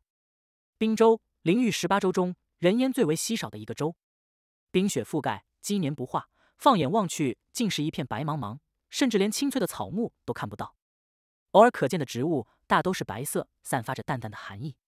灵域冰寒类灵药盛产之地，便是在冰州。若是偶尔在冰州之内遇到非白色的植物，那必然是神品灵药。冰州有一灵宗，虽不入超然灵宗之列，却也是顶级灵宗里顶尖的存在。据闻存在凝练了天地灵机的至强者。净雪宫乃是冰州统御灵宗，处于冰州深处净雪山脉之中。净雪宫乃是灵域少有的女子灵宗，上下全都是女子，无一男武者。而且据闻净雪宫女子尽皆容颜绝丽，冰肌玉骨，乃是冰雪之中的美艳花朵。冰州之寒，纵然是小天人武者，也不愿在此生活久居。正因为如此，偌大的冰州难建城池，难建聚居之地。净雪宫弟子传闻大都是从其余州挑选而来，修炼的乃是冰寒功法，因而不惧严寒，甚至于在严寒环境里更有利于修炼。净雪宫女子美艳之名，在灵域小有名气。传闻曾有灵宗天骄前往求娶佳人，偶有获得青睐者，抱得美人归。曾经在灵域偶有传闻净雪佳人美艳无双。冰润诱人，酷热天时最是销魂。亦有传闻，修炼火类功法的武者娶到净雪宫佳人，可以体会到冰火交融、冰火撞击的美妙体会。而随着这些言论传开，净雪宫为此大为不悦。自此之后，再也难有灵宗天骄可以求娶到净雪宫佳人。昔年血魔之祸席卷，滨州也未能幸免，出现了一时的动荡。有血神教徒觊觎净雪宫家人，爆发了一系列大战。随着血神教被覆灭，血魔遁入内域，滨州也从那时候开始。关注的人越来越少，关于净雪宫的家事已罕有在灵域流传。净雪宫宛若被其余州遗忘，仿佛进入了隐世状态。而此时的净雪宫里，曾经的建筑早已消失了大半，唯有一座冰雪宫殿建立。而在冰雪宫殿四周，整个净雪宫里尽是姹紫千红，分外美丽。神品灵药栽满了净雪宫。冰雪宫殿深处有一个黑色如漩涡般的洞窟，这个洞窟看似在地上出现，却给人一种并非地窟。而是天地间出现的一个窟窿，洞窟里有一种莫名的气息，隐约间洞窟仿佛在扩大，更甚至里面有着温润的暖意。冰雪宫殿之外，一名衣裳淡薄、在寒风中瑟瑟发抖的男子正在吞咽着一株神品灵药。这株灵药血红色，具有大补精血之神效。第九株了，又恢复过来了，应该可以撑得住了。男子俊朗非凡，风度翩翩，只是眼神深处隐藏着一丝懊悔与恐惧之色。他抬头看向净雪宫，寥寥的屋宇里，隐约可见风姿绰约的佳人，每一个佳人都各有特色，或身姿傲人，或小家碧玉，或温婉，或含羞。这些佳人，他都睡过了，十几年了。自从偶然得知一则传闻以及一道消息来到净雪宫后，他就没有消停过，隔三差五的就不胜腰力，需要大补一次。此地佳人众多，行走花丛之间，遍尝人间不同姿色。他最初很兴奋，而到了后来变成了惊惧，再到如今，甚至有了麻木的感觉。因为净雪宫里的所有美女全都是一个人，他们的神魂都是一个人的，甚至于他怀疑这些美女的身躯也是同一个人的。当然，仅仅只是怀疑，可能性不太高，但神魂同属一人却是百分百肯定的。这些美女也许就是曾经净雪宫的弟子、长老等人，只是神魂意识早已被吞噬，肉身被神魂寄居了。更令他惊惧的是，这同一个人的神魂非常之特殊，与灵域武者修炼出来的神魂有着极大的差别。这里的美女不但姿色各异，就连性格脾气都不相同。他每天都要应付不同的性格脾气的美女，用尽了平生的手段，用尽了平生的花言巧语。才堪堪应付了下来。正当他松一口气，准备找个机会逃走的时候，幕后之人现身了。三年前，三年前他见到了这些神魂所属那个美艳如火、艳丽无双、更具有吸髓之魔力的幕后之人。自此之后，就陷入了无边的痛苦之中。抬起手摸了摸脸颊，哪怕吞噬了神品灵药，依旧无法彻底恢复过来，脸颊微微凹陷下去。再这样下去，会被吸死的。男子喃喃自语。那种感觉虽然很销魂，而且死的也不会痛苦，反而是在快乐中死去，可以说得上是最美妙的死法了。可是他不想死，脑海中浮现出了那个温婉如玉的女子，温柔善解人意，是他所遇女子中最令他难忘的一人。我离去之时，你似乎怀孕了，我也想陪你直到孩子出生，也想带你回家，奈何有此变故发生，我不得不提前返回。这一走就陷入在此地了，你也许会觉得我欺骗你吧。我真的没有骗你的，虽然我留情众多，但最喜欢的还是你。男子喃喃自语着。便在此时，冰雪宫殿里传来了一声魅惑无双、直入心魄的娇嗲：“木木，人家想要了，你快来啊！”操！男子心里暗骂一声，也不能算是骂吧，毕竟很快就要付诸行动了。来了，我最爱的宝贝儿。男子脸上露出了宠溺之色，双眼尽是激动，转身就走入冰雪宫殿里。冰雪宫殿里。冰雪之中点缀着粉色的榻上，斜躺着一人，身无寸缕，肌肤仿佛与冰雪一体，就连发丝都是雪白色的，浑身上下晶莹雪白。见到男子进来，抬起一条美腿，尽显风光旖旎，美艳无双，足以倾倒无数男子。第一次见到的时候，男子也被倾倒了；然而到了如今，他内心反而有了恐惧，却又不敢显露出丝毫来。此女似乎不是人，当然也不是海灵，毕竟她也是有一位海灵红颜的。木木，你终于又帅回来了。这世间就没有比我穆千流更帅的人了。为了你魂销体枯，也在所不惜。别说这种话，我怎么舍得你魂销体枯呢？这世间最值得我留恋的，可就只有木木你了。啊，宝贝儿，你还是这么冰润迷人。这个男子就是消失已久的穆家风刘子穆千流。一天后，呜呜，木木，你都哭了，怎么办？这次把你吸得太狠了。穆千流此刻形体枯槁。一副被掏空了的模样，脸颊凹陷，已不复俊朗帅气，双眼无神，眼眸深处还残留着一丝恐惧，身躯微微颤抖着，嘴唇哆嗦着道：“没关系，我很兴奋，我很快乐，死了也甘心。木木，我不会让你死的，你死了我怎么办？我怎么找快乐吗？”女子说着，一株株神品灵药塞入木千流嘴里，吃了好几株神品灵药，木千流终于恢复了一点气息，然而依然形体枯槁，被掏空了的样子。坏了，伤到你本源了。神品灵药你吃多了，现在效果不明显了。女子皱起秀眉道。穆千流挣扎着站了起来，披上了厚厚的灵衫，身躯颤抖着，双腿颤抖着，但他目光坚定地道：“小事一桩，我采些神品灵药，去找个朋友配制出大补之药，休养十天半月就能恢复了。”真的吗？当然，只是太冷了，宝贝儿，我出去了怕被冻死啊。穆千流双手抱肩的说道：“这样吗？小问题了。”女子抬手一招，在冰雪宫殿深处的那个黑色漩涡里飞出来了一枚石子，淡红色的石子，宛若烧红的铁块，不过却只有一股温热之意。你携带着这个就不会冷了。穆千流接过石子，揣入了怀里，激动的上前与女子搂抱在一起，最后依依不舍地道：“宝贝儿，等我回来，我们再战个三天三夜。”嗯，三天三夜太令人神往了。女子点头，红润的脸上尽是神往之色。半个月，最迟半个月，我就会回来的。木木，我等你。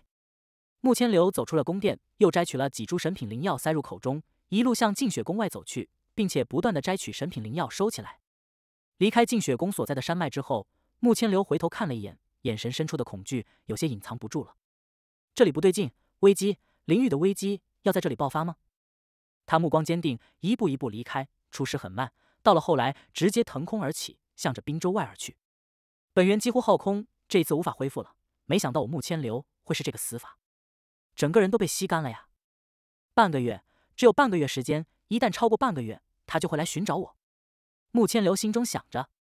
为了这一次的逃离，从三年前开始，每次快被吸干了，他都借口外出找宝物恢复为由离开净雪宫。每一次最多半个月，他就会返回净雪宫，一次又一次守信而回，终于使得对方放松了监视，换来了这一次逃离的机会。以往几次几乎被吸干。他都是用秘术恢复自身的，秘术用多了，本源也就受损严重。这一次再难以恢复了，必死无疑。他应该无法离开滨州之地，只要离开了滨州，我就彻底逃脱了。他神魂之力，大部分意识与注意力都在那个洞窟里，所以这一次才没有发现我本源近乎彻底干枯，无法再恢复了。否则绝对无法顺利离开。那个洞窟究竟是什么？当初净雪宫发生了什么变故？穆千流沉思着，速度越来越快，疯狂向着滨州之外逃去。必须在半个月内离开滨州。曾经他进入滨州时，已经凝练了天地灵机，并且不止一缕，距离凝聚天地法则气息只差半步而已。如此实力，在灵域也属于顶尖了。结果一丝抵抗之力都没有。那名女子强大的可怕，甚至穆千流都怀疑对方根本就没有血肉之躯。我活不了了，离开滨州，去见他最后一面吧。穆千流心里叹息，进雪宫之事太诡异了，一路疯狂遁逃，到了最后，甚至不惜动用一下秘术，速度暴增之下，终于在半月之期到来之前逃出了滨州。穆千流没有任何停顿，甚至他都不敢回穆家，生怕把灾祸带回了穆家。来到一座大城，找到了一处据点，将一份信交给此地的人，让其交到某人手上。做完这一切之后，穆千流直奔豫州而去。滨州净雪宫里。一道倩影骤然出现在了宫殿上方，眼神逐渐冰冷。骗我！你敢骗我！你敢骗我！我要把你挫骨扬灰！我要把你挫骨扬灰！我待你如此之好，你竟敢骗我！你逃不掉的，我会找到你的！我最恨人欺骗我了！轰隆！某一刻，冰雪宫殿消融了，进雪宫里的那些女子此刻全部急速离开，向着四面八方而去，在搜寻穆千流。结果自然是一无所获。该死！你该死啊！你敢骗我！你玩弄了我，就弃我而去！我要剥了你的皮！女子发疯似的狂叫着。轰隆！原本的黑色洞窟此刻冒出了温热之气，一抹赤红之色从黑色的洞窟里涌出来，四周的冰雪开始融化，温热之气不断扩散，向着整个冰州蔓延而去。黑色的洞窟也在缓慢扩大中。冰州进雪宫之变，黑色洞窟喷涌出赤红光芒，永不融化的冰雪都开始消融。这些穆千流已经不知道了，他正在前往豫州，临死之前见一见那个温婉的女子，他要死在灵域之外。进雪宫里的那个诡异女人太可怕了，令他死都不敢死在灵域，甚至有一种哪怕死了也会被对方揪出来挫骨扬灰。骗我，竟敢骗我！你该死，你该死！疯狂、愤怒、恨意无边的声音在进雪宫山脉响起。我是这么爱你，我是这么喜欢你，我为了你付出了这么多。虽然我吸了你一些精元，但你也快乐呀！你竟然骗我！你竟然要逃！我恨你！我恨你！你该死！你该死啊！净雪宫所在的山脉冰雪正在持续消融之中，黑色的洞窟缓慢的扩大，赤红的光芒喷涌的越来越多，仿佛并不怎么炽烈，然而冰雪却是在不断消融。没有人知道冰州之变会带来什么灾祸，就连穆千流自己都意识不到严重性，在他看来，无非冰州被占据罢了。如今滨州其实也称得上已经被占据了，只要不入滨州，就不存在任何危机。而灵域十八州，滨州也不太受关注。穆千流的那一封信，因为他的模样已不是当初之时，未曾受到重视，终究没有如愿迅速送到，而是耗费了一段时间之后，才被送到了收信人桌上。而收信人正在筹备着前往长青阁，并没有注意到这一封信。素林秀几人依旧在大周皇都，更是在紫韵的带领下去了亲王府做客。向亲大喜不已，未曾料到长青阁竟然与紫韵有这么一层关系在。素林秀以天地灵机炼制的丹药卖给了向亲几枚，甚至包括一枚以天地法则之力炼制出来的丹药。这对于向亲而言，无异于一桩机缘，可以使得他的实力在极短时间内大幅提升。他亲王的地位也会因此大幅提升。向清心里感叹：收紫韵为义女，是自己这辈子做的最正确的决定。孟冲准备启程闯荡灵域了，紫韵依依不舍，想要孟冲留下来，不过也知道孟冲不会听他的，只能依依不舍的相送。行了，多提升一下自己实力吧。天骄争锋，你不是也要参战吗？孟冲将挂在他身上的紫韵扯了下来，说道：“走了，天骄争锋决战前再见。”孟冲挥挥手。大踏步离去，灵域这么大，他要多闯闯，多走走，行走四方，感悟武道。等着吧，我很快就可以凝练天地灵机了。紫韵哼哼说着。长青阁在大周皇都逗留的时间比任何一次都要长久，实在是大周皇都繁华。素林秀几人都忙着游玩了。到了最后，十二孟叔叔与周英三人也去了皇都游玩了几天。李玄悠然的从大周皇室典藏阁出来。回到了长青阁，典藏阁最核心的一些珍藏，他都给看完了。不得不说，大周皇室不愧是堪比超然灵宗的王朝，珍藏涉及的秘辛太多了，包括灵域有史以来的各种大事件、传闻，乃至曾经威名赫赫的天骄名录等等。只是李玄有些遗憾，神桥之秘并没有在典藏阁里找到。神桥之秘恐怕才是真正的核心之秘，甚至都不记录在典藏阁里，而是高层之间一代一代相传，避免出现泄露的情形。素林秀几人回到了长青阁，谋划着下一个停留地。紫韵，你与我们一起吗？月儿问道。我倒是想一起，不过义父说要为我争取一个什么名额，可能涉及到大周皇室的一些底蕴，我想留下来看看是什么样的。紫韵想了一想，说道：“虽然他感觉跟着长青阁肯定更好，有用不完的丹药，甚至还能得到高人指点，而且更容易见到孟冲，但大周皇室的底蕴也令他感到好奇，忍不住想要看一看究竟是什么。”也行吧，我对大周的秘心底蕴也是有些好奇的。紫韵若是想找我们，你拿着传讯符联系一下万世盟，用他们的传讯渠道，很快就能找到我们了。或者天骄之战后我们再聚。素林秀点了点头，说道：“结束了游玩大周皇都，长青阁再次接诊。等到这一次接诊完毕，就会离去，前往下一个目的地。下一个目的地就去云山州吧，见一见故人。”素林秀想了一想，说道：“杜玉英与云淼淼在太邈宗。”正好去云山州见一见，当初在苍兰岛时相处还是很愉快的。况且又都是来自内域。随着长青阁开始接诊，排队的情况又出现了，大部分都是来治疗旧伤，隐疾的也有来求购丹药。紫韵也在长青阁上帮忙。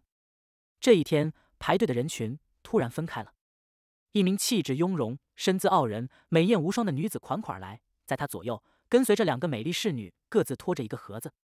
是长公主。人群里有人低声说道：“大周当代长公主向薇，曾经无数大周天骄的梦中女神，诸多天骄为了获得长公主青睐而拼尽才华，卖力干活，想尽办法立功。然而长公主突然之间不嫁人了，甚至曾一度传出长公主养了面首，使得无数天骄眼红，暗恨面首为何不是自己。当然，关于长公主的一些风流韵事，并没有流传多久，便被禁止讨论了。”甚至于是否曾有面首也不得而知，面首是何人也不得而知。倒是某一脉王府曾传出长公主已有意中之人，早已芳心暗许之类的传闻，但也不了了之。向威是来送行的，在黄都代表向家与单一仙子素灵秀结下一份情谊。十二引向威进入长青阁，素灵秀、紫韵与月儿已经在等候了。素灵秀对向威的感官还是不错的，游玩黄都时曾一起结伴行，向威给她的感觉像是一个大姐姐。长青阁入口接诊处，孟叔叔替代了十二继续接诊。今天是最后一天了，明天长青阁就要离开了。孟叔叔开口说道：“快快，这是最后一天了，我的旧伤还没治呢。前面的快点。”咦，这位兄弟，我看你形体干枯，哪怕去了长青阁，大抵也没救了。就不要占据名额了吧？对啊，你去了不得浪费接诊时间，治你一人的时间都足以治好几人了。排队的人群中，有人看着队伍里的一人囔囔道。人群中，一名形体枯槁、已入膏肓之状的男子正在默默地排着队伍。穆千流对周遭的嘈杂漠不关心，看向前方，还有十几人就要轮到自己了。他不是来求诊的，而是来见向威的。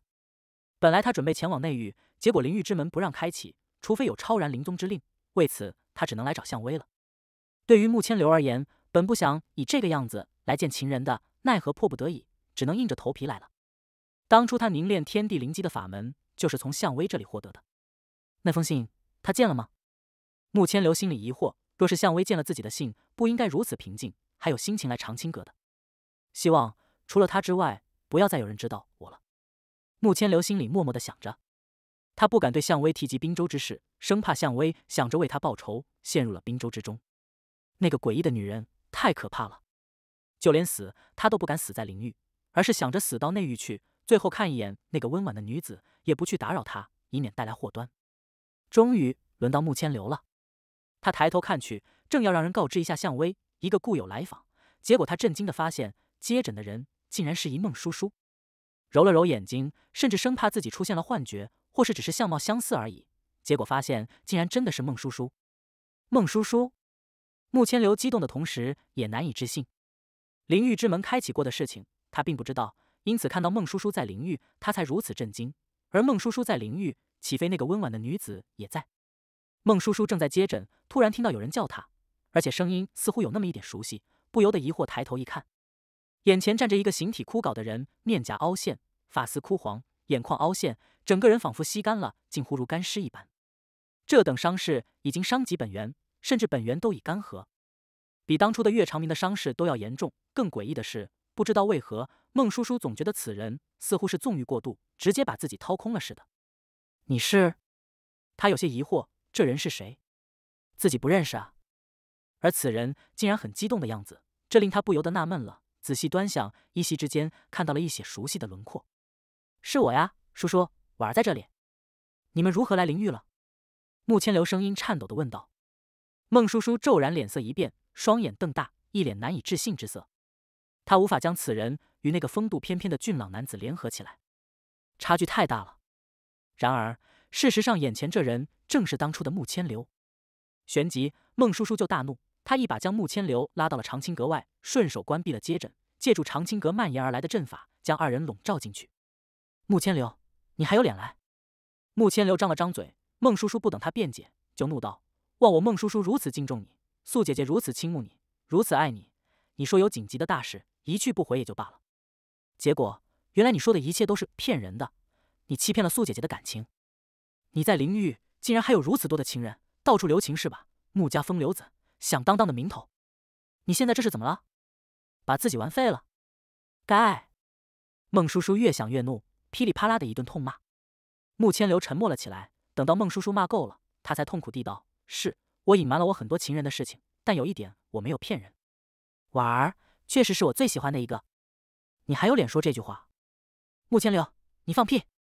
孟叔叔暴跳如雷，又是一顿劈头盖脸的骂，把心里压抑的愤怒全都一股脑倾泻了出来。婉儿还好吗？穆千流等到他骂完了，这才问道。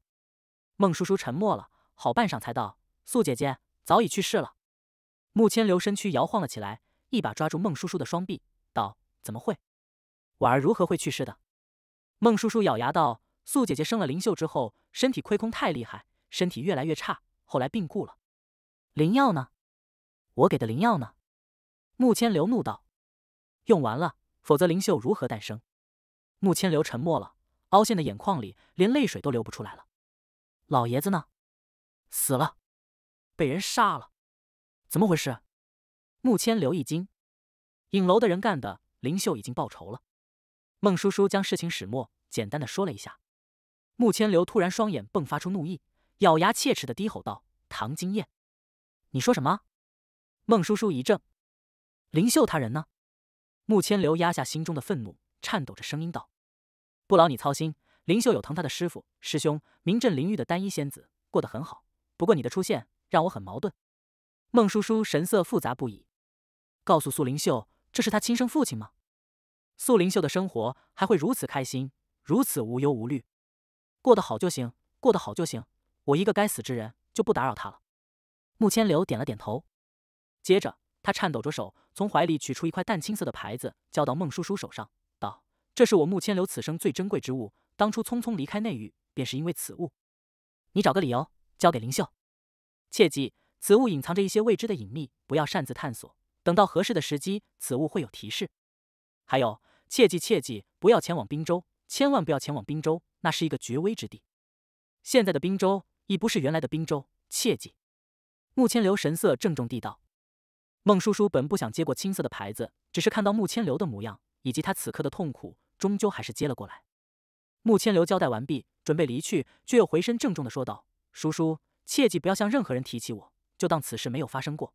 你没有见过我，切记不论如何都不要提及我，不要让任何人知道你见过我，认识我。”孟叔叔有些凝惑，穆千流说的如此凝重，究竟遭遇了什么，令他如此恐惧？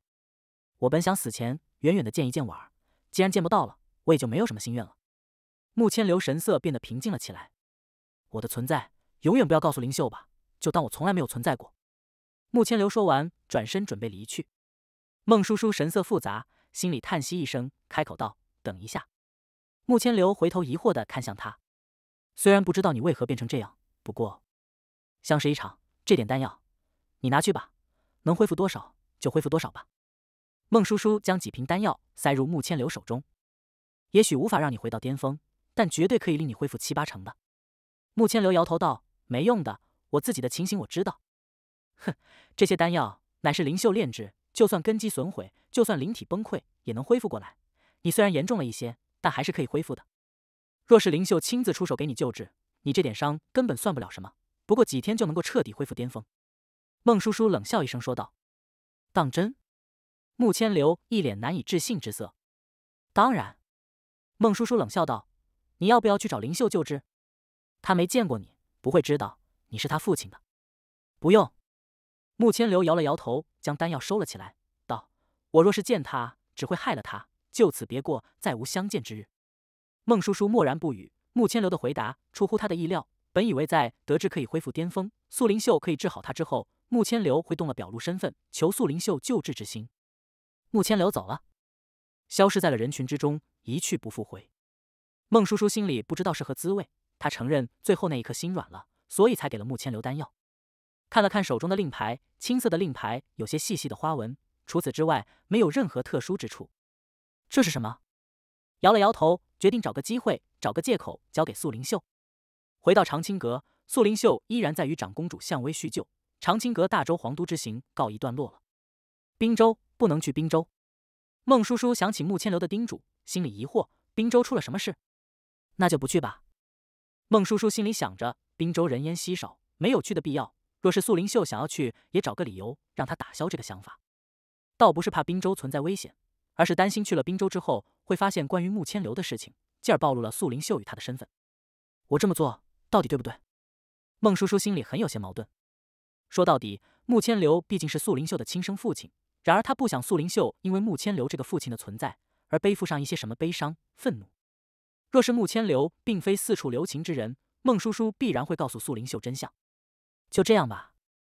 孟叔叔心里叹了一口气，他拿着青色令牌来到了长青阁顶的亭子里。前辈，孟叔叔恭敬的行礼道：“他知道这一切都瞒不过前辈的。”嗯，李玄点了点头。孟叔叔与穆千流之事，他都看在眼里，听在耳朵里。前辈，我这么做对还是错？孟叔叔终究忍不住开口问道：“对错皆在你心，一切随缘吧。”李玄摇了摇头道：“素灵秀这个徒弟，若是得知他父亲的真相，恐怕心里不会好过，心情低落，哪里还会有如今的无忧无虑，快乐钻研单一武道？”慕千流既然主动退去了，显然他也不想素灵秀因为他的出现而打破了平静的生活。前辈，这是什么？孟叔叔点了点头。前辈既然这么说了，那必然是没错的。他将青色令牌放到桌子上，问道：“我会交给灵秀的。”李玄看了令牌一眼，只是淡然的说道：“至于是什么，他哪里知道，只能避而不答，仿佛在告诉孟叔叔实力太低了，知道太多不好。”谢前辈。孟叔叔没有再问。令牌由前辈交给灵秀，比他交给灵秀更能够得到灵秀的重视。否则，若是他交给灵秀，指不定哪天就被素灵秀给忘了。终究是木千流最珍贵之物，孟叔叔心里还是希望素灵秀能够重视一下的。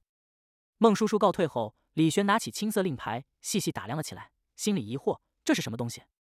令牌的材质不简单，仅仅是材质而论，不会输给灵玉的神器了，但却并非神器。令牌上的花纹似乎不具有特殊含义，仅仅是装饰所用。李玄沉吟了一下，一缕神元输入令牌里面，青色令牌现出淡淡的青色光芒，令牌上出现了三个字：“天哭令。”随着这三个字出现，李玄也看到了令牌里面有着几行小字：“令出天哭现，持天哭令者，可入天哭，可镇天哭。”李玄收回神元，不由得陷入了沉思之中。天哭，秘境之类的存在。这是进入天窟的钥匙，或者是执掌天窟的令牌。他心里疑惑：天窟是什么？猜测大抵是某种秘境。灵玉有这种地方吗？未曾听闻啊，就连大周的典藏阁里都没有见过相关记载。大抵是秘境一类的东西吧。天窟出现，令牌会有显示，到时才能进入。李玄心里嘀咕着：交给素灵秀就是了，什么时候出现也不知道呢。摇了摇头，没有继续纠结天窟令的事情。哪怕是秘境，对他来说也没有太大的吸引力。毕竟他修炼的又不是这方世界的武道，而是自己编出来的。继续我的武道大业吧。李轩摇了摇头，继续投入自己的武道大业当中，一边编神通五典，一边参悟太仓书天地道则。送走了向威之后，长青阁也准备离开了。紫韵依依不舍的回到了亲王府。下一个目的地去哪里？去天灵州吧，找赤猫。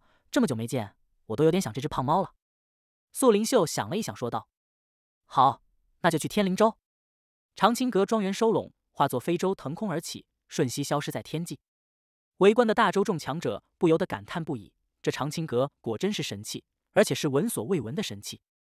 而在大周皇都城墙上，穆千流看着飞舟离去，远远的看到了那一个少女的身影，他心满意足了，旋即露出了愤怒之色。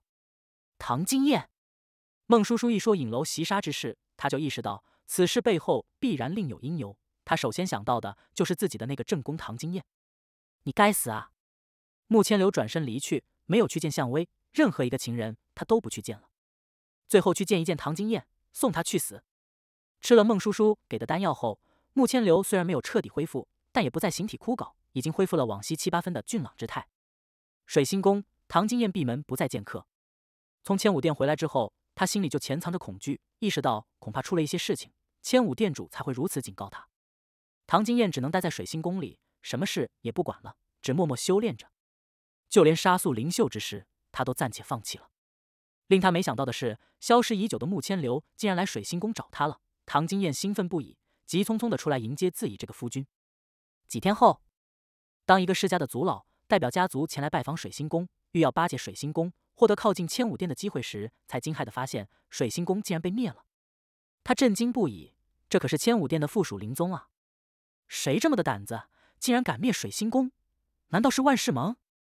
而若是万世盟，似乎没有必要这么偷偷摸摸的行事。消息传出，洛州震动，穆家也震惊了，派遣族老前去查看。毕竟唐金燕名义上还是穆千流的正宫，一番探查，自然一无所获。既然唐金燕死了，穆千流又毫无消息，穆家族老们一商量，就把穆飞明的母亲立为穆千流正宫。穆飞明名正言顺，成为少家主。水星宫被灭，千武殿自然派遣强者来探查，而且还是一名至强者长老，更是放出消息，必定擒拿挑衅的凶手。能如此无声无息灭掉水星宫，没有被外人察觉，爆发大战，出手之人必然是至强者。千武殿主冷然一笑：“殿主，是否灵域之门的消息泄露了？是也好，不是也罢，找个替死鬼立个威就行了。”水星宫之事就此接过，其余超然灵宗没有开启灵域之门的动静，就意味着消息还没泄露。千武殿主冷笑着说道：“一旦消息泄露，灵域之门消失这么惊悚的事情，其余几个超然灵宗绝对会去一探究竟，确定是否属实的。”不久后，一名颇负盛名、炼神巅峰实力的散修被千武殿擒拿，在水星宫前当着众武者的面斩杀，将其血肉撒在水星宫宗门里，宣誓已经为水星宫报仇了。给出的理由是，这名散修谋夺水星宫资源，经过长达数十年的潜伏，按下毒药，削弱一众水星宫强者实力，才悄无声息将水星宫灭了。洛州武者全都震动不已，这名散修好大的胆子啊！而其余灵宗世家顿时怕了，在自己内部来了一场大清查。碧海浩瀚，不知尽头在何处。与灵域十八州相比，浩瀚的碧海，武者相对而言比较稀少，宗门也稀稀落落的，只有一些知名的岛屿才存在着武者聚居之地。以云天碧海城为中心，灵宗世家散布四方，那一片海域被称之为云天海域。云天海域无疑是碧海最繁华的海域。不论是人族武者还是海灵族，大都在云天海域生活。而在云天海域之外，自然也存在着一些灵宗与世家，也有武者出没。一艘大船在碧海上航行着，正在前往云天碧海城进行交易，换取所需之物。听说这一片海域不平静，大家都小心一点。大船上一名武者沉声说道：“碧海辽阔，纵然是炼神天人，也喜欢乘船而行，毕竟全靠自身实力飞行，实在是太累了。而且一旦消耗太大，遭遇袭杀就危险了，怕什么？我们这里炼神天人都二十几人，难道还怕那些盗匪？有武者不屑地道：“碧海有海盗，大都在云天海域之外出没，打劫来往的武者。这些海盗身份，要么是从十八州逃来的凶恶武者，要么是曾经败落的灵宗世家武者聚集而成，甚至于有海灵做海盗的。整个碧海，除了云天海域外，任何一处都有可能遇到海盗。二十几名炼神天人就有底气了。”难道忘了三个月前石藤岛被洗劫之事？整个岛上武者才逃出来了多少人？别吓人，哪会这么倒霉遇到覆灭石藤岛的家伙？总之，小心为上。大船上的一众武者闻言，神色严肃了不少，警惕着四周，一旦发现情势不对，立马逃遁。不好，有盗匪来袭！骤然之间，大船上有人惊呼道。众人抬头看去，只见四面八方一道道身影浮现，急速包围而来。来袭者全都戴着黑色面具，手里拿着一把血色的长刀，猩红之气缭绕，是覆灭石藤岛的血刀匪。大船上舞者惊呼出声：“快跳！”有炼神天人身形一晃，就从大船上遁出，欲要逃离。哪里走？轰！一道血色刀光轰然而来，将准备遁逃的舞者逼回了大船上。都站好了，我们只劫财不杀人，谁若是反抗，死！血刀匪头领冷笑着道：“大船上炼神天人以下的武者全都脸色惨白，将藏物袋交了出来，扔在甲板上。很好，大天人站这边，小天人站这边，炼神天人蹲下。血刀匪抬刀驱使着大船上的武者排列好，而那二十几个炼神天人脸色铁青不已，但只能憋屈的蹲下。血刀匪实力太强了，无一不是炼神巅峰的武者，而且人比他们多，打是肯定打不过的。”就连逃跑的机会都渺茫。漂亮，我雪刀匪最喜欢配合的人了。都交出藏物袋，不得隐藏。这个妞不错，你就不用交藏物袋了，交出你的美色就行了。劫色，我雪刀匪是讲原则的，要么劫财，要么劫色。既然劫色，那就不劫财。那名女武者脸色惨白，哆嗦着嘴唇道：“大哥，你饶了我吧，劫财好不好？你没得选，乖乖去那边角落里躺好，不然某劫财也劫色。”血刀匪长刀拍了拍女武者的面颊，说道：“女武者面如死灰，默默的去了角落里躺下。”那名血刀匪满意的点头，迈着嚣张的步伐走了过去。配合的好，某还会支付灵金的，欺人太甚啊！那女武者几乎气炸了，只觉得屈辱无比。大船后方，一艘湛蓝色的小舟在海上飞驰而来。许岩一入碧海，整个人都有一种心神开阔之感，眺望着无际的浩瀚碧海，竟有一种自己不过是碧海一粟之感。云天碧海城在云天海域，距离雾州外海太远太远了。遁海舟没有在天际飞行，而是落到了海里，在海面上飞驰着。既然来到碧海了，若是继续在半空飞行，岂非白来碧海一趟？在海上航行数日，许岩突然心生兴趣，掏出了一根钓竿来。师傅在苍兰岛的时候就喜欢去沧江垂钓，肯定是有深意的。这是在感悟天地自然之道，或者说是一种心境的修炼。我感觉师傅是在以行动暗示。垂钓是可以感悟自身、清净心神、修炼心境的一种方式。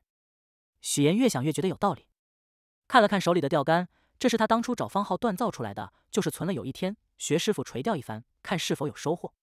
用什么饵呢？许岩嘀咕了一下，取出一枚丹药挂上。钓丝、钓钩都是方浩炼制，灵气级别，一旦上钩就别想挣脱了。毫不夸张地说，哪怕是堪比炼神境的海兽上钩了，也休想挣脱。碧海霸主无疑是海灵族，但除了海灵之外，还有众多海兽。据彩灵儿所言，碧海有几种海兽，成年之时实力堪比炼神武者，只不过不通晓武道之法，只有蛮力而已，并且灵智未开，空有一身蛮力。纵然如此，寻常炼神武者也难以单独狩猎如此凶猛的海兽。而且，海兽虽然灵智未开，但遭遇危险也会有躲避危险的本能，会潜入海中。人族武者一旦进入海中，除非实力强很多，否则根本奈何不了如此强大的海兽。而炼神级海兽几乎是海灵族的专属狩猎对象，也是海灵族在云天碧海城与人族强者交易的主要物品。遁海舟在碧海飞驰，直到远离了雾州近海，许岩这才下钩垂钓。刚一下钩，许岩就发现有海鱼出现，想要咬钩，当即神韵一震，直接将海鱼震飞了出去。我是来钓大鱼的，不是钓小鱼。许岩嘀咕着。顿海舟继续前行，一路朝着云天海域而去。垂钓了两天，也没遇到堪比炼神境的海兽，许岩不由得纳闷了起来。转念一想，我这心态不对，既然是垂钓，又何必在意大鱼小鱼呢？这岂非有违垂钓的本意？这般一想，许岩就不再关注钓钩里究竟吸引了什么海鱼而来。不一会儿，就钓上来了一条三尺来长的鱼。许岩换了饵后，继续垂钓。在钓上来了几条大小不一的鱼之后，这一次许岩将鱼钩远远的甩了出去，在饵上覆盖一道神元禁制，非炼神境海兽无法咬钩吃饵。盘膝坐在遁海舟上，许岩继续修炼参悟武道。遁海舟按照既定的方向航行着，钓竿挂在了小舟上，随缘垂钓。一天后，正在修炼中的许岩突然睁开了眼睛，钓竿在震动着，一股巨大的拉扯之力传来，上钩了。许岩当即大喜。遁海舟前方水浪翻滚，一头褐色的巨大海兽在扑腾挣扎着，却是始终无法挣脱钓钩。这海兽的实力堪比炼神后期了。许岩啧啧感叹。正在挣扎中的海兽突然掉头向着遁海舟撞来，许岩微微一笑，抬手一压，一股力量镇压而下，摁住了冲来的海兽。等到海兽挣扎不动了，这才松开力量。如此三番几次之后，海兽意识到了遁海舟的危险，开始疯狂逃离，拉着遁海舟在碧海上飞驰。这个方向正好是去云天海域的，就让他拉着吧。许岩直接关闭了遁海舟，任由海兽拉着在海上飞驰。海兽的耐力惊人。而且速度极快，拉着遁海舟飞驰，偶尔想要潜入海中挣脱，却是无法拉动遁海舟下潜。三番几次之后，海兽只能不断向前遁逃。许岩坐在遁海舟上，继续修炼与参悟自身武道。一天之后，海兽依旧在疯狂遁逃之中，并且速度越来越快，大有横冲直撞之势。大船上，那名血刀匪兴奋地来到了角落里，看着躺好的女武者，兴奋不已。这才听话吗？爷爷就劫个色，比损失全部身家的那些家伙相比。你可幸运多了。女武者咬着嘴唇，闭着眼睛，一句话都不敢说，微微颤抖的娇躯显露了她此刻内心的恐惧。美人儿，爷来了！血刀匪哗啦一下，顿时不着寸缕，就要扑上去。便在此时，哗啦一声巨响，伴随而来一声嘶鸣。突如其来的动静吓得他当场就软了，脸色铁青的循声看去，顿时一惊，慌忙穿上衣服，持刀在手。女武者也被动静惊的睁开了眼睛，她吃惊的看到。大船后方，一只巨大的海兽腾空跃起，发出了愤怒的嘶鸣之声。而在海兽身后，似乎拉着一艘淡蓝色的奇怪小舟。快斩了海兽！血刀匪首领怒声喝道。这海兽似乎正在向大船撞击而来。突如其来的变故，使得大船上准备束手就擒的炼神武者顿时神色一喜，彼此相互传音一番之后，骤然之间腾空而起，联手向着某个方向遁逃而去。与其把命交给血刀匪定夺。不如趁机遁逃。二十几名炼神武者联手冲杀而出，那个方向的血刀匪顿时脸色一变，慌忙避开锋芒。找死！血刀匪首领大怒，大手一挥道：“给我杀！”哗啦，一众血刀匪持刀而上，欲要追杀那些遁逃的炼神武者。同时，两名血刀匪抬刀就是一斩，血色刀光劈向了半空中的巨大海兽。这一只海兽实力不弱，皮粗肉厚，防御力惊人。一刀未必能将其斩杀。修炼中的许岩睁开了眼睛，诧异了一下，这海兽竟然想要撞击大船，想要以此获得遁逃的机会，倒是懂得利用环境逃避危险。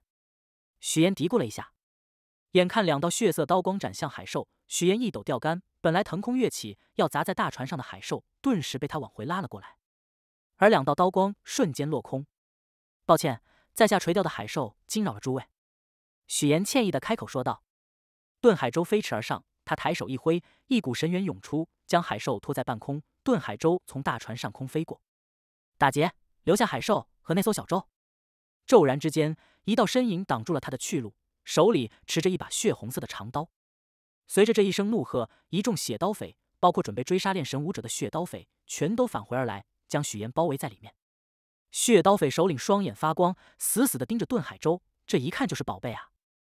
速度快，还可腾空飞行。若是获得这一件宝贝，他们血刀匪更来无影去无踪了。许岩一愣：“打劫？你确定是要打劫？”他看了一眼围上来的一众血刀匪，问道：“少年人，我血刀匪向来讲原则，留下海兽。”留下小舟，你就可以走了，不伤你性命。如若不然，这碧海之上又会多一具尸体。血刀匪首领沉声开口道。许岩笑了：“海盗也讲原则。彩铃儿曾说过，碧海存在一些海盗，不过遇到的概率不高，发生被海盗劫杀之事，一年都没有几起。当然，对于许岩来说，海盗自然是无法威胁到他的。彩铃儿只是介绍碧海时，顺带介绍一下而已。未曾想到，刚入碧海没多久，竟然就遇到海盗打劫了。”我也是个讲原则的人。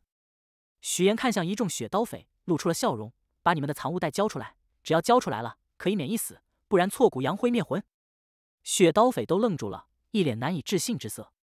这小子什么意思？反过来打劫他们？一个人打劫一群人？谁给他的胆子？好，好，好！我雪刀这一辈子都没遇到过你这么嚣张的人，孤身一人，竟然反过来打劫我们一群人，够勇气，够狂妄！虽然我雪刀很欣赏你这样的年轻人，但……啪！他话还没说完，骤然只觉得脸颊上挨了一巴掌，整个人都倒飞了出去，脑袋晕乎乎的，眼冒金星了起来。少废话，打劫！交出藏物袋！许岩冷笑一声说道。咕咚！一众血刀匪脸色骇然。你刚才看到他出手了吗？没有啊，我只看到老大飞了出去。我也没有。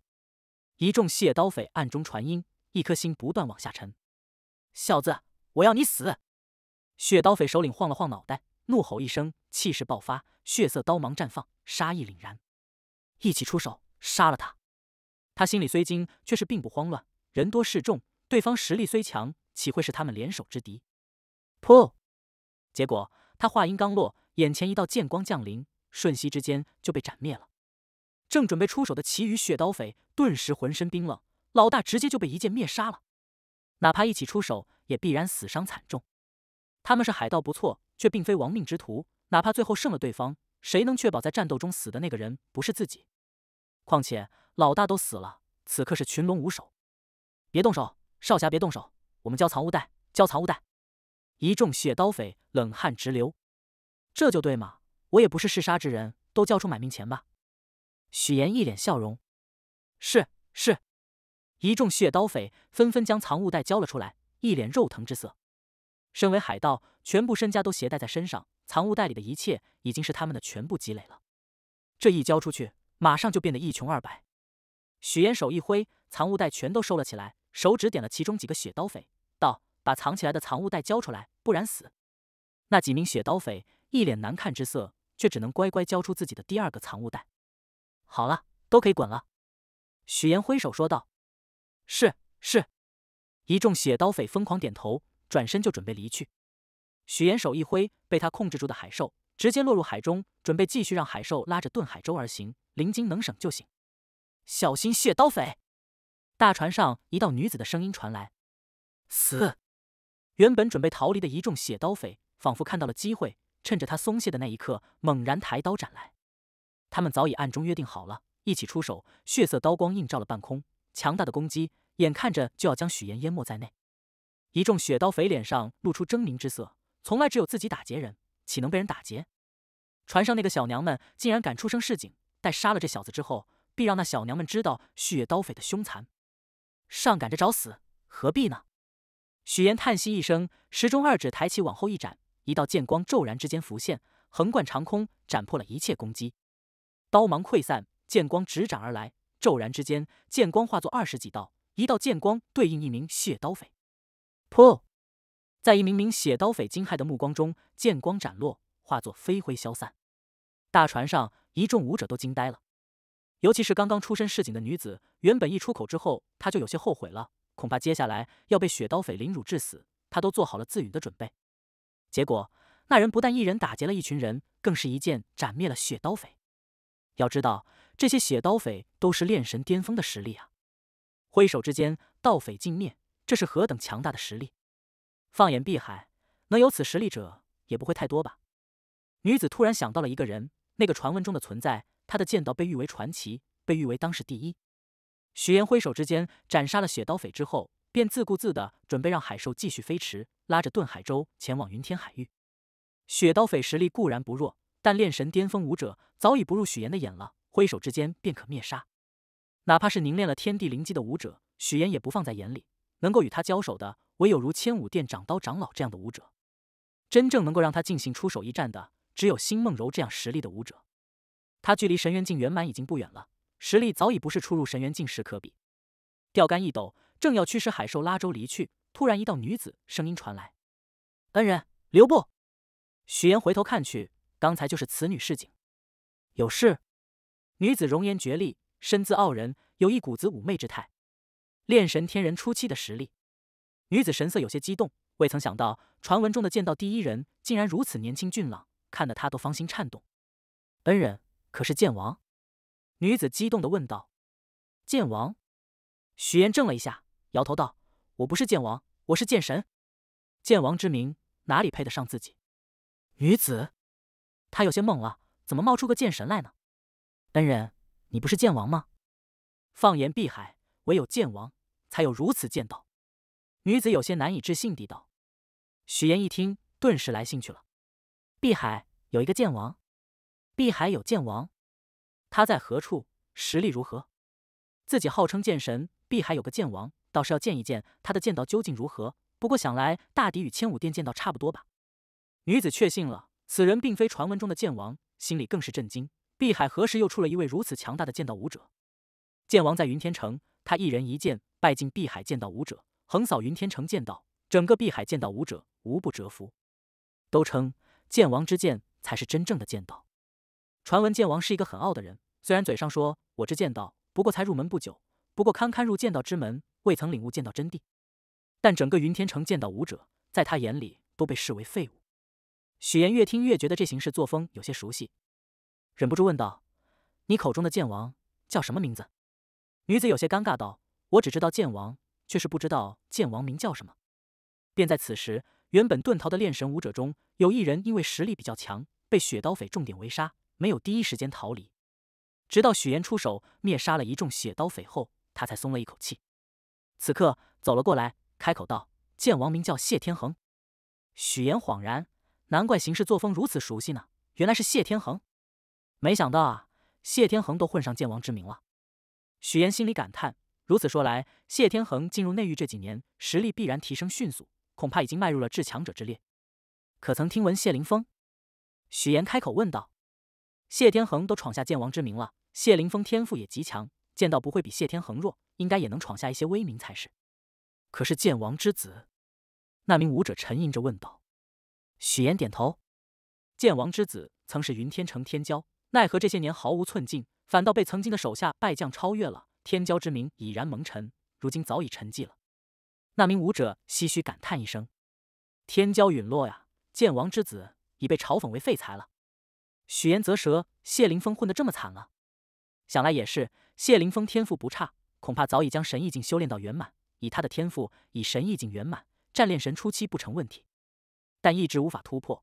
而曾经的手下败将却是不断突破，炼神后期、炼神巅峰，谢凌风自然就不是对手了。难怪沉寂了，只是未曾想到，竟然被嘲笑为废材了。谢兄，再等些时日吧，我来找你了，一定可以再次崛起。镇压你曾经的手下败将的，许岩心里嘀咕着。谢家父子二人在云天碧海城，显然是发生了一些事情，而非低调行事才会有此盛名。许岩又询问了一些关于谢天恒父子二人的消息。那名武者知道的也不多，只知道几年前谢天恒第一次扬名是挑战一名炼神天人初期的武者，当时谢天恒是大天人之境，所有人都认为他必败无疑时，结果谢天恒强势崛起。展露出了非凡的剑道，跃进击败了对手，从此开始扬名。传闻剑王妻子背景不凡，否则以剑王当初的狂妄，早就被围殴打死了。那名唏嘘感叹说道。许岩点头，谢天恒的妻子是灵域之人，未曾想到有如此不俗背景，却是不知道谢天恒一个内域武者是怎么娶到灵域而来的女子的。又问了一些谢凌风的事情，那名武者知道不多，见问不出什么来了，许言便告辞离去。海兽拉着遁海舟在碧海上飞驰而去。剑神，难道又要看到剑道争锋了吗？那名武者激动不已，如此盛世不能错过啊！若是剑王听闻有人竟然敢自称剑神，恐怕会气炸吧。云天碧海城，碧海的超然灵宗统御整个碧海，连碧海霸主海灵族也要听令于城主府。傅家乃是云天城的城主家族，到了这一代城主傅天海，实力更是强大无比，传闻已经超越了前几位城主的实力，是当之无愧的碧海第一强者。云天城虽是城主府统御，但也存在诸多势力，而海灵族在城主府中也是担任要职的，地位显赫超然。一直都有传闻，从古至今，云天城与海灵族有契约，共同统御碧海。而海灵族在某些时候需要服从云天城的命令。契约的具体内容与条款，唯有云天城真正的高层与海灵族的高层才知晓。云天城几大势力中，万星武道院是其中之一。自从败走十八州，在云天城落脚，创立武道学院以来，培养了不少知名武者。而万星武院的院长，传闻与副城主交情深厚，故而万星武道院也被视为有城主府做靠山。时至今日，万星武道院在云天城乃至整个碧海的影响力已经很大了。武道院的学子有来自碧海四方的天骄，也有一些云天城世家之子，尤其是没落世家的子弟。学院里也有海灵族学子，海灵族越来越喜欢将自家的后辈送到武院学习修炼。几年前，云天城发生了一件事情：大周亲王府世子被送入万星武道学院学习修炼是其一，其二是傅天海这个城主突然多了一个女婿与外孙。更离谱的是，传闻他女婿来自内域，此云天城傅家谕令而来。整个云天城的各大势力都傻眼了，而一直倾慕城主千金的那些人，整个人都傻了。自己竟然不如内域之地的人，自己心中的女神竟然委身内域之人，还在内域生了一个儿子。此事在云天城大势力之间传开，不少人都不禁想起了当初的发生的一件事情。城主千金曾前往十八州，据闻是因为穆家风流子的风流之事传到碧海。城主千金觉得穆千流太渣了，准备去把他给咔嚓掉，追杀穆家风流子。据传闻，追到了内域，过了很多年才回到云天城。至于咔嚓木千流之事，就再也没有传闻了。而穆家风流子似乎也消失了。云天城里一度传闻，穆家那个风流子恐怕是被城主千金杀了。结果去了一趟内域，竟然生了一个儿子。倾慕者如遭雷击，都想要看一看内域的那个家伙究竟有何出众之处，竟然打动了城主千金的芳心。有传闻，傅天海城主在得知自己突然有了一个女婿与外孙后，差点气死，但木已成舟，也只能捏着鼻子忍了，总不能把人杀了吧？而且女婿似乎天赋还行，来到灵域没多久就突破小天人境了。刚开始为了避免麻烦，城主女婿都是身居城主府，从不外出，任由风言风语流传，表现得很低调，很听从城主吩咐的样子。直到城主府女婿突破大天人境之后，开始嚣张起来了。做的第一件事情就是把倾慕自己妻子的某个世家子弟暴揍了一顿，接着又挑战另一名世家炼神初期武者，一口一个废物，极尽不屑与狂妄，把人气得半死。结果城主女婿以大天人之境击败了炼神初期的武者，这下子各大势力都不禁另眼相看了。等到城主女婿突破炼神天人境，更嚣张了，看谁都是废物的样子，一个个将曾经倾慕自己妻子的人全都给揍了一遍。而城主的那个外孙也逐渐展露锋芒，击败一个又一个世家天骄。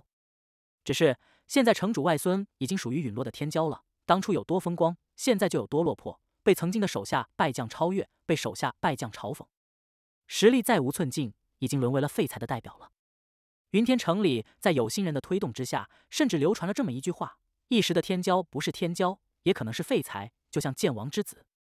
剑王之子天骄沉寂，但是剑王本人。却是越来越狂了，越来越横了，正如他的名字一般。甚至于还曾鄙视老丈人，结果被暴揍了一顿。城主府一座小庭院里，一名青年男子盘膝坐在庭院的水池上，一柄剑横在膝上，剑意环绕周身，如沧浪汹涌，水流奔腾之声从剑意里传荡而出。你让夫儿修炼的什么武道？现在好了，止步不前了。庭院门口，一名美丽的女子，一只手掐在谢天恒腰间，一脸不满的说道：“他。”就是傅天海的掌上明珠傅云，谢天恒咧咧嘴道：“是他自己选择的。再说了，止步不前只是没有后续功法而已，这是小事。待我抽空去一趟十八州，把功法带回来就是了。你说的什么大荒武道？当真如此强大？既然如此，当初为何不记下更多功法？傅云依旧不满，记得太多了，不好感悟啊。谢天恒无奈的说道：“放心吧，过些天我就去十八州。风儿虽然未曾突破，但剑意更圆润，剑道感悟更深了。一旦突破，实力必然更强。”傅云叹息一声道：“我突然发现，当初去内域怎么就被你骗了呢？都怪我太年轻了。”谢天恒嘴角抽了一抽，道：“夫人，我可没有骗你，答应你的事情，我可都是做到了。放眼碧海，见到我为尊。你也就在碧海逞威。我可是听说十八州出了一个剑神，不过二十许年纪，已经镇压灵域天骄了，更是赌千武殿大门挑战，斩杀千武殿天骄，当着一众千武殿强者的面夺走了神器，而千武殿还奈何不了他。”傅云白了他一眼，说道：“谢天恒惊了，问道：十八州出了如此天骄，他叫什么名字？”心里嘀咕着，该不会是许岩吧？直接赌超然灵宗的山门挑战，如此狂的作风，而且又是号称剑神，他第一时间就想到了许岩。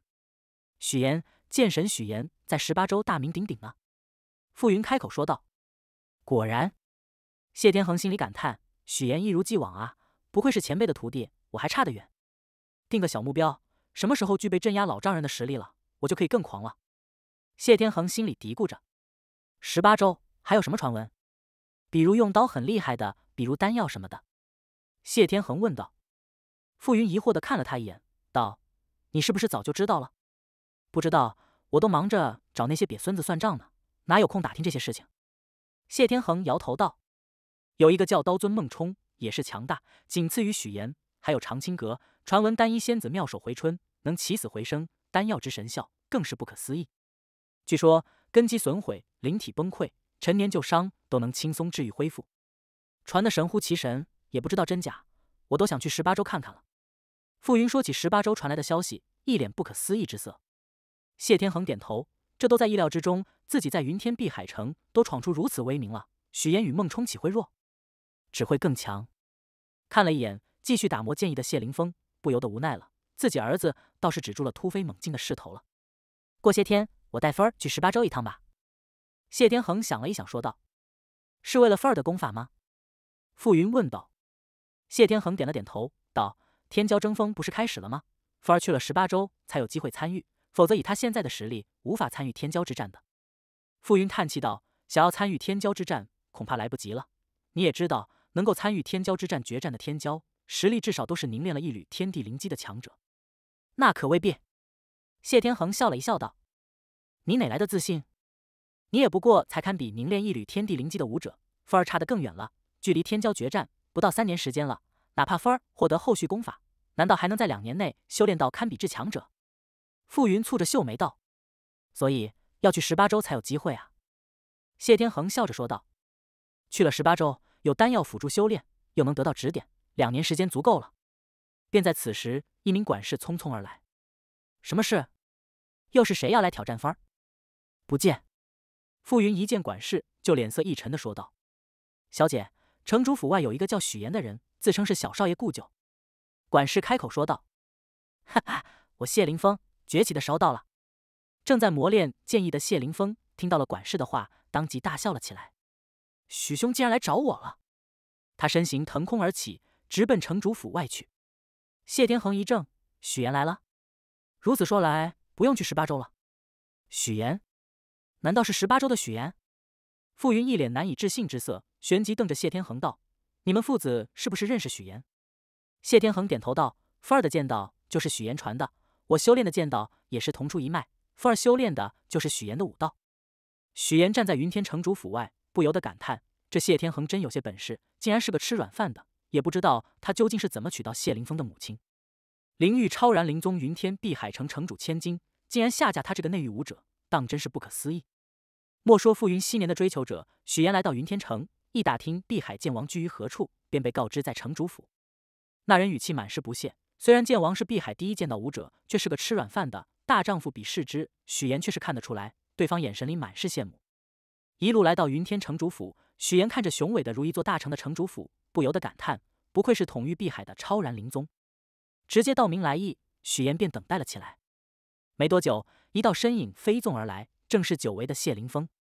许兄，谢凌风热泪盈眶，自己终于可以继续修炼下去了，终于可以再次扬眉吐气，将曾经的手下败将再次镇压下去。谢兄，好久不见！许岩一脸笑容，一别数载，当真是怀念啊！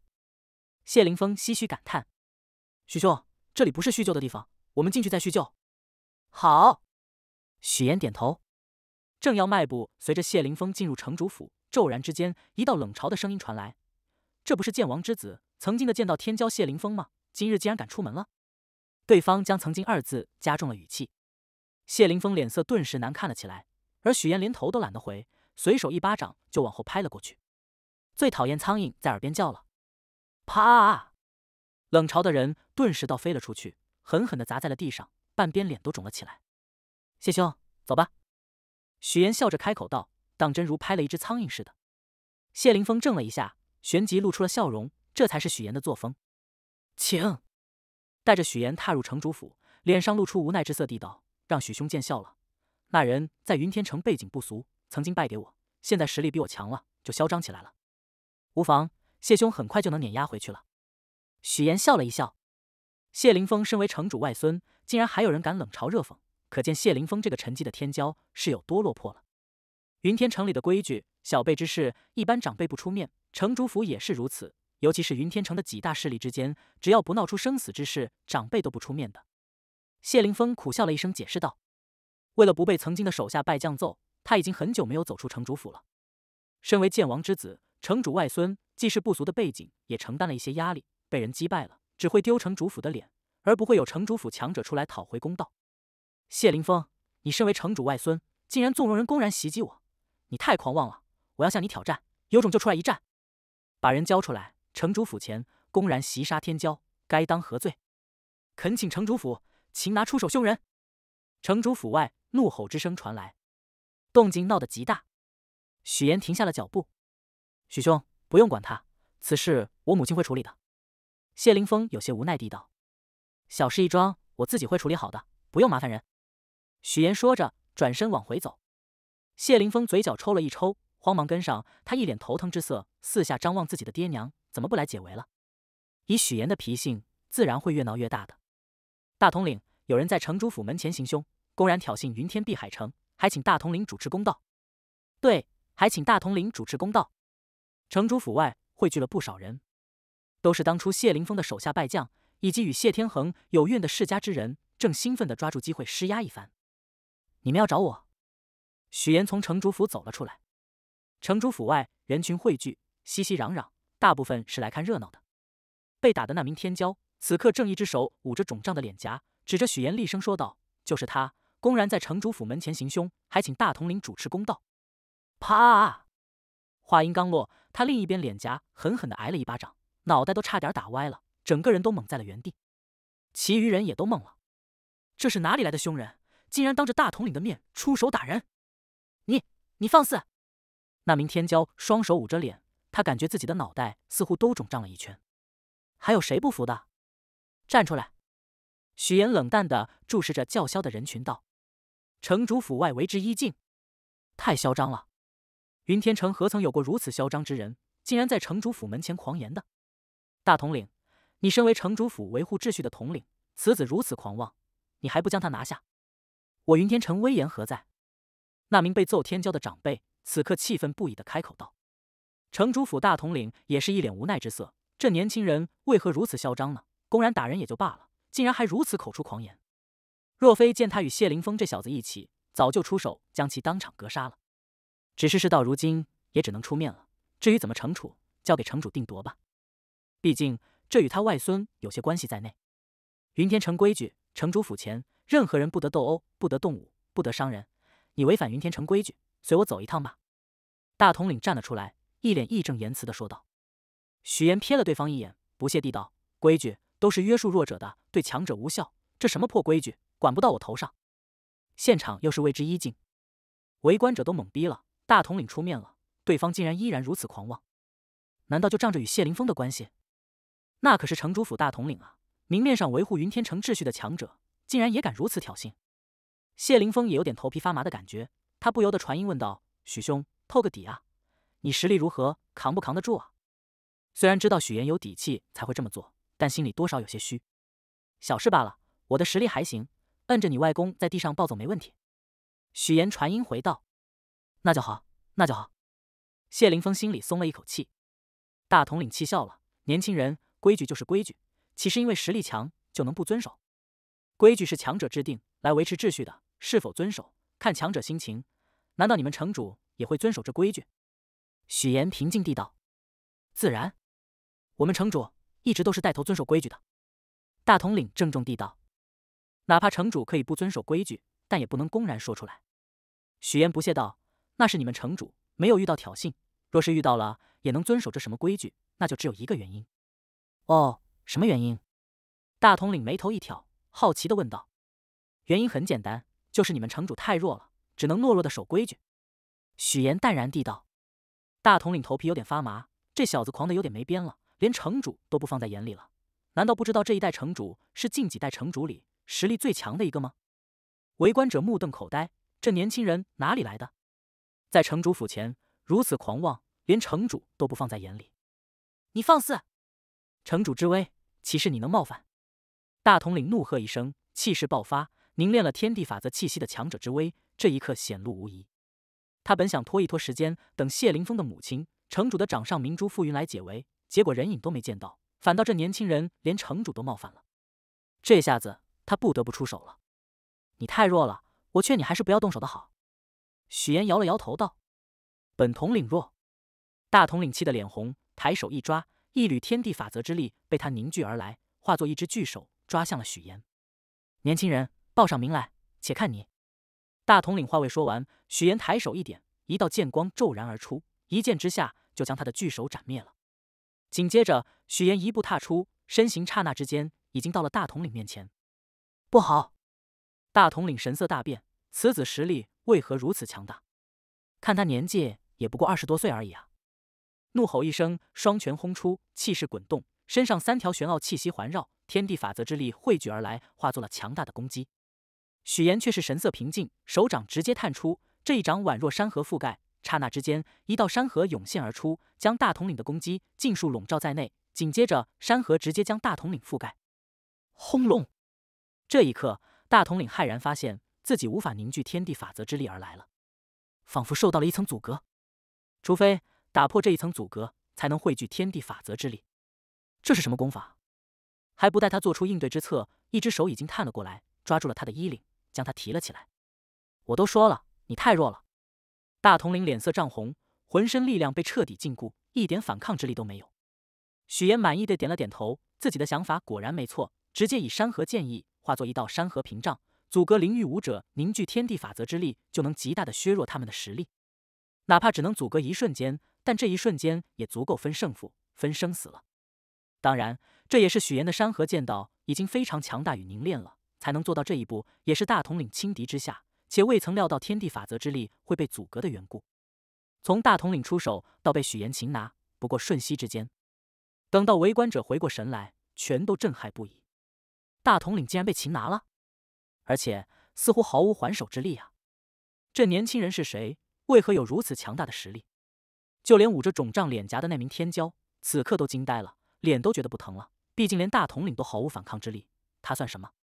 能够保住一条命在，都是对方手下留情了。阁下何人？大统领黑着一张脸。剑神许岩。许岩淡然一笑，拎着大统领与谢凌风一起进入了城主府，随手就将对方放开了。谢兄，走吧。许岩笑着说道。好。谢凌风点头。心里感叹：不愧是许岩啊！不论是在内域，还是来到了灵域，一如既往的强大，一无既往的所向披靡啊！剑神许岩，大统领一呆，旋即头皮发麻。他想到了一个人，曾经赌千武殿山门挑战，更是公然夺走千武殿神器冷绝刀的绝世天骄。他竟然来云天城了，而且直接在城主府里打人，这倒是非常符合对方的行为作风。当年都敢赌千武殿山门挑战。几年过去了，实力更是强的可怕，在城主府揍人算什么？杀人都只是小事儿啊！城主府外，围观者都是一怔。剑神许岩，剑王若是听到他这名头，岂不是要气炸？有人嘀咕道：“你懂什么？剑神许岩是十八州的绝世天骄，当年赌千武殿山门挑战，当着一众千武殿强者的面夺走千武殿神器的凶人。我说呢，怎么会有如此狂的人？原来是许岩啊，那正常了。其实我早就猜到了，放眼灵域，能如此狂的人，除了许岩，我想不到第二个啊。许岩既然来云天城了，而且似乎与谢凌风这个沉寂天骄交情深厚，这下子热闹了。你们说，许岩如此挑衅，城主会不会出手镇压许岩？不会的，城主出手镇压许岩，成功了被冯以大欺小，失败了那就脸面尽失了，怎么会冒险呢？你大胆啊！你竟然敢质疑城主的实力！号称天下见到我为尊，赌千武殿山门挑战，当着千武殿众强者面夺走神器，从不遵守规矩的言，来云天碧海城了。消息瞬间席卷四方，传遍了云天碧海城。渐渐的，更有小道消息传出，许岩是来镇压碧海天骄的，他要告诉灵域天下，天骄他为尊。消息传开，碧海天骄沸腾了。只是许岩出手擒拿下大统领的实力，让无数碧海天骄泄气，打不过，真的打不过呀。但也有不服气的天骄，欲要与许岩一战。云天碧海城因为许岩的到来而变得喧嚣了起来。城主府一座高楼上，傅天海站在走廊上，在他左右分别站着谢天恒与傅云。本来傅云准备去解围的，但被傅天海自制止了。不愧是许岩啊！谢天恒感叹一声说道。接着瞥了自己的老丈人一眼，看到了吧，不让去解围，现在丢脸的是城主府了吧？傅天海脸都黑了，抬手按在谢天恒肩膀上，笑着道：“你敢质疑我的决定？谁给你的勇气啊？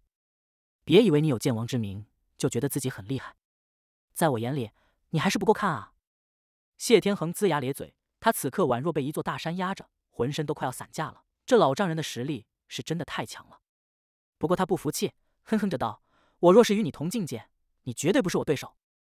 以境界压人也是凭实力。傅天海冷笑：“啊，我若是你这个年纪，境界早就甩你现在几条街了。坐拥如此多修炼资源，修炼如此长时间才这么点实力，若是我绝对会感到丢脸的。”谢天恒依然嘴硬。傅天海五指一握，沉默了半晌，道：“你太不孝了！轰！操！以大欺小，你丢不丢人？老丈人揍女婿。”丢什么人？傅云一脸无奈。谢天恒刚来的时候还是很低调的，一点也不张狂，对老丈人言听计从，各种讨好，令他都一度怀疑谢天恒还是不是自己当初认识的人了。竟然改了脾性，结果实力提升上来之后，终于又恢复了张狂模样。爹，你下手轻一点。傅天海一听，下手更重了。庭院里，许岩与谢凌风叙旧之后，便开始传谢凌风神元境武道之法。同时将丹药取出来辅助谢凌风修炼。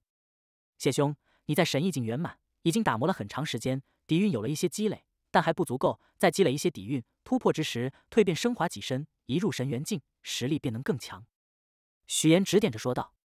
接下来的半个月，许岩都在指点谢凌风修炼，指点他的剑道，直到谢凌风积累足够底蕴，开始闭关突破神元境时，许岩才见到了久别的谢天恒以及谢凌风的母亲城主千金傅云。只是谢天恒鼻青脸肿的，仿佛被人暴揍了一顿。他不由得好奇了：碧海剑王被谁给暴揍了？有疗伤丹药吗？给我一枚。那老儿下手太狠了。谢天恒捂着脸道：“几天了，一股力量缠绕在他脸上，使得他无法恢复伤势。这么尊荣，自然是不能外出了，否则岂不是有损剑王之威？”许岩恍然，原来是被老丈人揍了呀。将一瓶丹药递给了谢天恒。又是一番叙旧，谢天恒介绍了傅云。一说起傅云，他就得意不已。自己当初在内域就娶到了傅云这个身份尊崇的灵域天之娇女，放眼内域无人能比。这也是他当初在内域看谁都是废物的原因。见到有些停滞了，我总感觉差一点才能突破。谢天恒叹了一口气，他是来向许岩请教剑道上的感悟的。许岩接下来自然是指点了谢天恒剑道一番。刚指点完谢天恒剑道，一名管事匆匆而来。道小姐，万星武道院的黎少点名要挑战许岩许公子。黎少，傅云诧异不已。谢天恒眉头一皱，道：“这家伙怎么来挑战了？”许岩眉头一挑，好奇地道：“黎少实力如何？”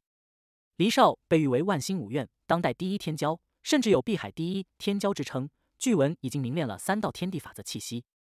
傅云介绍道。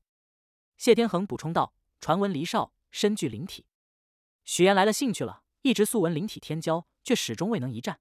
这个黎少竟然是灵体天骄，难怪已经凝练了三道天地法则气息了。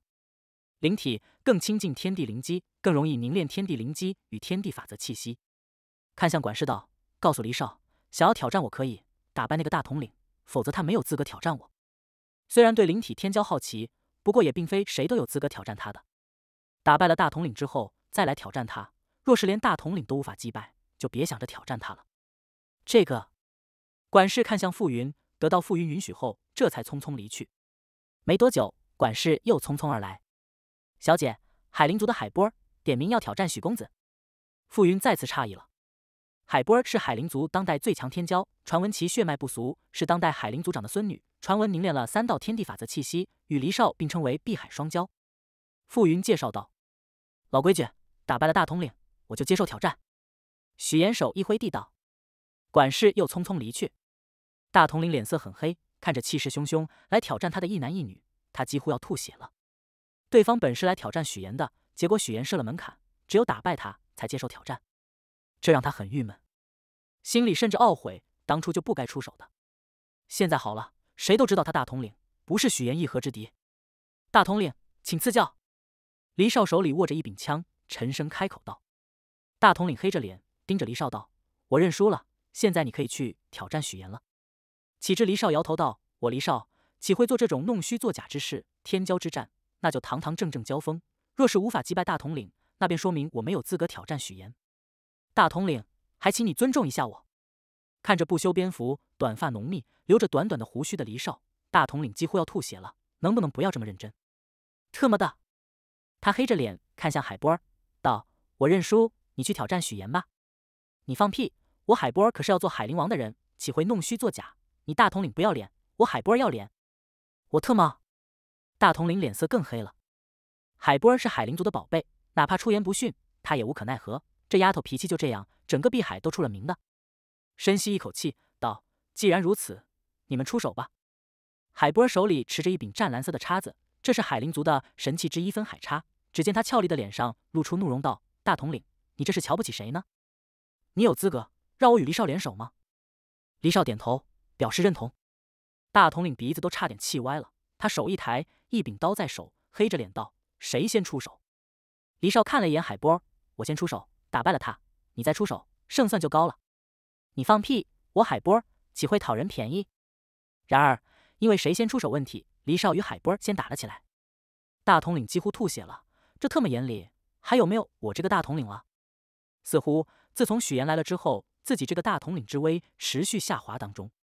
谢凌风突破神元境了，许岩没有等来黎少和海波的挑战。也没有关注这二人，大抵似乎没能战胜大统领吧。既然如此，那就没有资格挑战自己了。谢凌风突破时也蜕变升华几身，武道根基真正的彻底转化为了大荒武道的根基，并且获得了灵骨。初入神元境的谢凌风虽然远没有许岩当初时的实力，不过战胜炼神巅峰武者却是毫无问题的。纵然是凝练了一缕天地灵机的武者也能一战。他现在的实力已经不输给谢天恒多少了。神元境的玄妙不止于此。谢凌风的实力将会越来越强，可以再次将曾经的手下败将再次踩在脚下了。随着剑道的感悟提升，谢凌风一旦突破神元境圆满，实力不会输给云天城主，甚至还要强一些。不论如何，谢凌风也是天骄，实力不能以寻常武者而论。许岩开始传授谢凌风神通境武道之法，这需要一些时间详细讲解，让谢凌风不但可以铭记下功法，更能明悟功法。传授完神通境武道之法后，许岩将神像境功法也传授给谢凌风。至于破虚境武道之法，他也没有参悟出来，自然无从传授。何况对于谢凌风而言，神通境都有些遥远，更遑论神像境了。足够他修炼很长时间了，以后再传破虚境功法也不迟。传授完谢凌风功法，指点了剑道，留下丹药之后，这一趟云天碧海城之行便告一段落了。许岩接下来要去探索碧海，寻找碧海神物。傅云将一份碧海海图送给许岩。上面有关于碧海的一些凶险之地、宝地，乃至可能出现神物的海域，比当初彩铃儿介绍的要详细的多。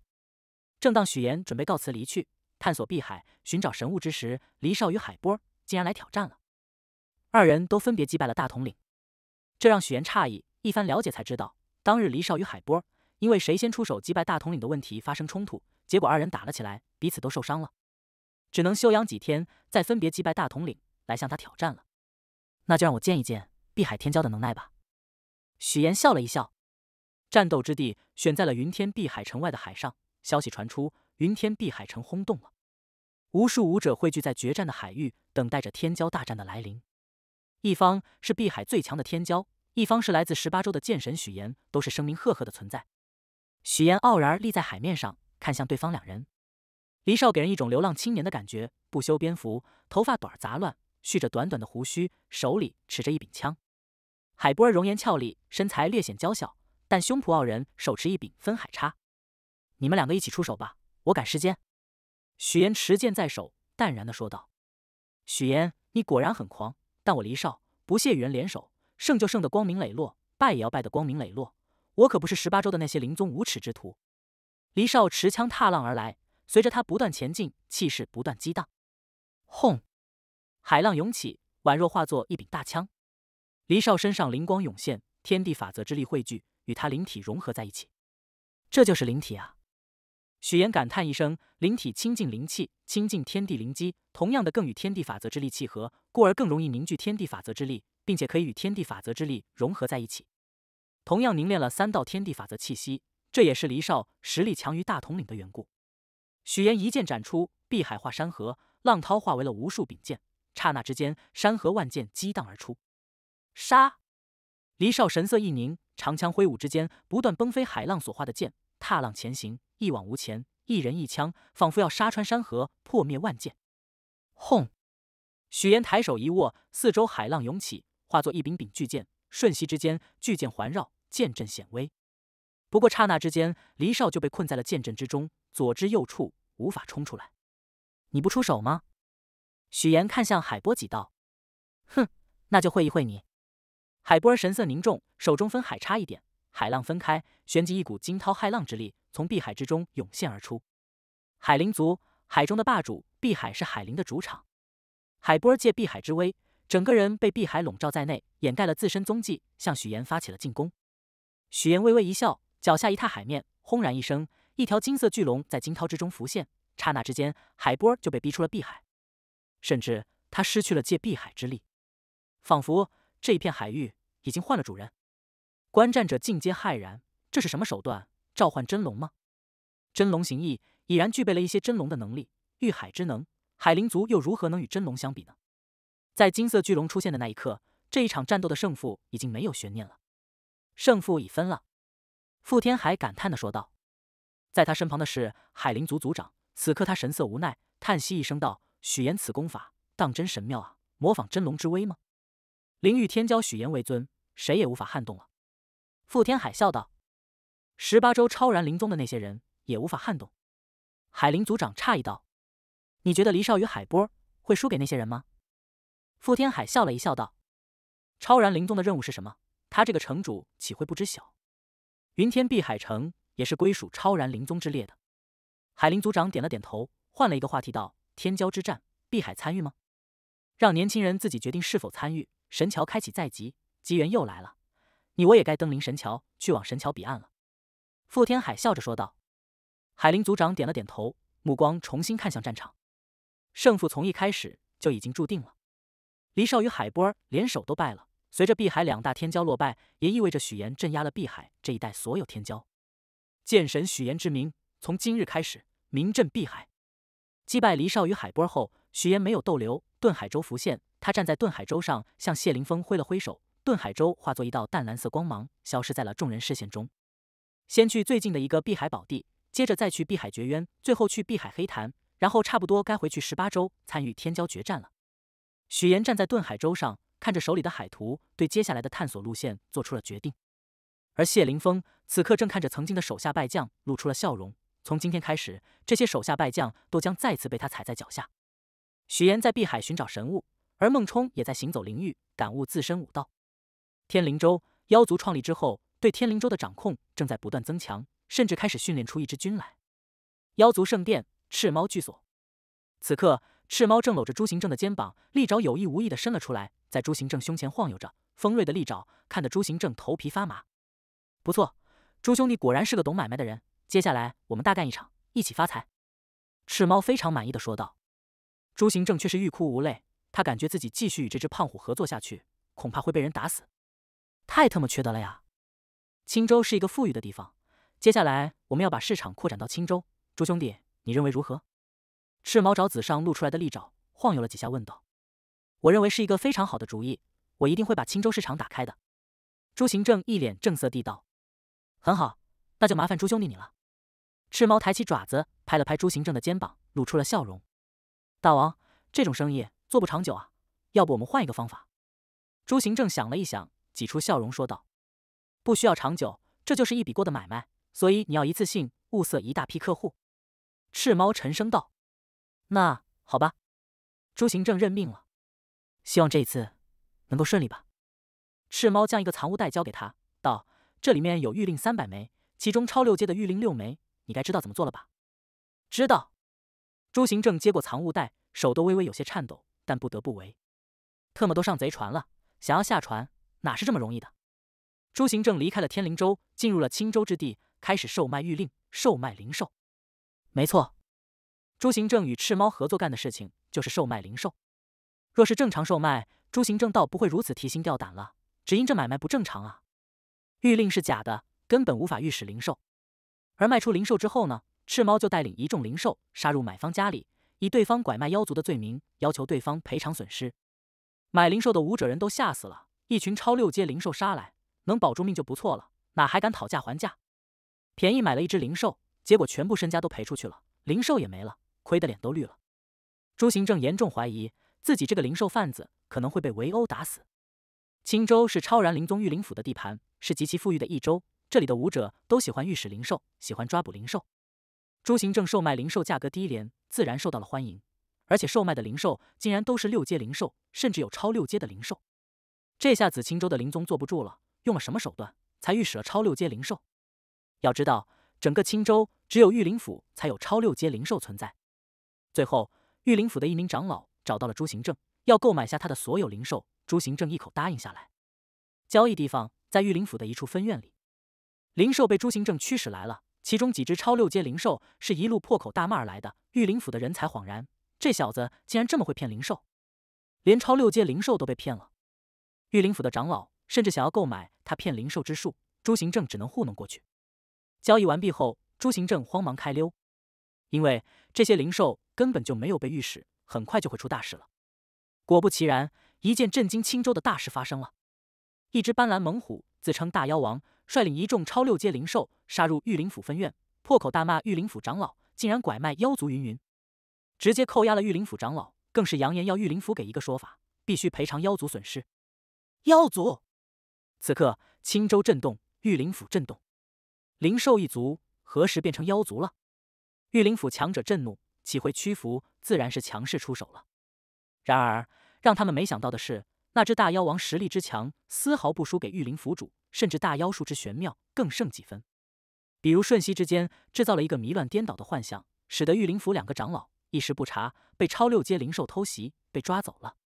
灵兽一族的实力本就强大，而大妖王实力更强，而且似乎有些无耻，手段也不可思议。玉灵府一时不察，就吃了大亏了。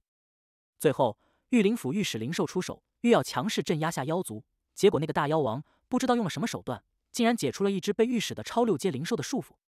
更是在大妖王的花言巧语之下，那只超六阶灵兽眼神狂热，直接背叛了，嗷嗷叫着要为妖族振兴奉献。御灵府真的被吓到了，仓促之下没有应对之策，只能捏着鼻子进行谈判，同时派人去追杀朱行正这个灵兽贩子，相当可恶。不久之后。关于朱行正这个灵兽贩子与灵兽勾结在一起坑人的事情被曝光，整个青州到处都是朱行正的悬赏。朱行正脸都绿了，吓得躲在天灵州，哪里都不敢去了，就连万世盟都不敢回去。毕竟他连万世盟的几位强者都坑了一把，他不想坑万世盟的人的，奈何对方被赤猫盯上了，在赤猫的利爪威胁下，他只能硬着头皮干了。如今已经回不了头了，报应啊！朱行正欲哭无泪，坑骗灵兽多了，结果反被坑了。天灵州与青州交界处，玉灵府与妖族正在进行着谈判。这一次，连玉灵府主亲自出面谈判了。而妖族一方，赤猫体型宛若一座小山般巨大，坐在一把巨大的椅子上，两只前爪放在扶手上，俯视着前方的玉灵府众强者。在他左侧是玉小龙，右侧是小哈，三大妖王齐出。在三妖王身后是一众妖族超六阶强者。玉灵府阵营里崔花雨看着那只大妖王，露出了疑惑之色，怎么看着如此熟悉呢？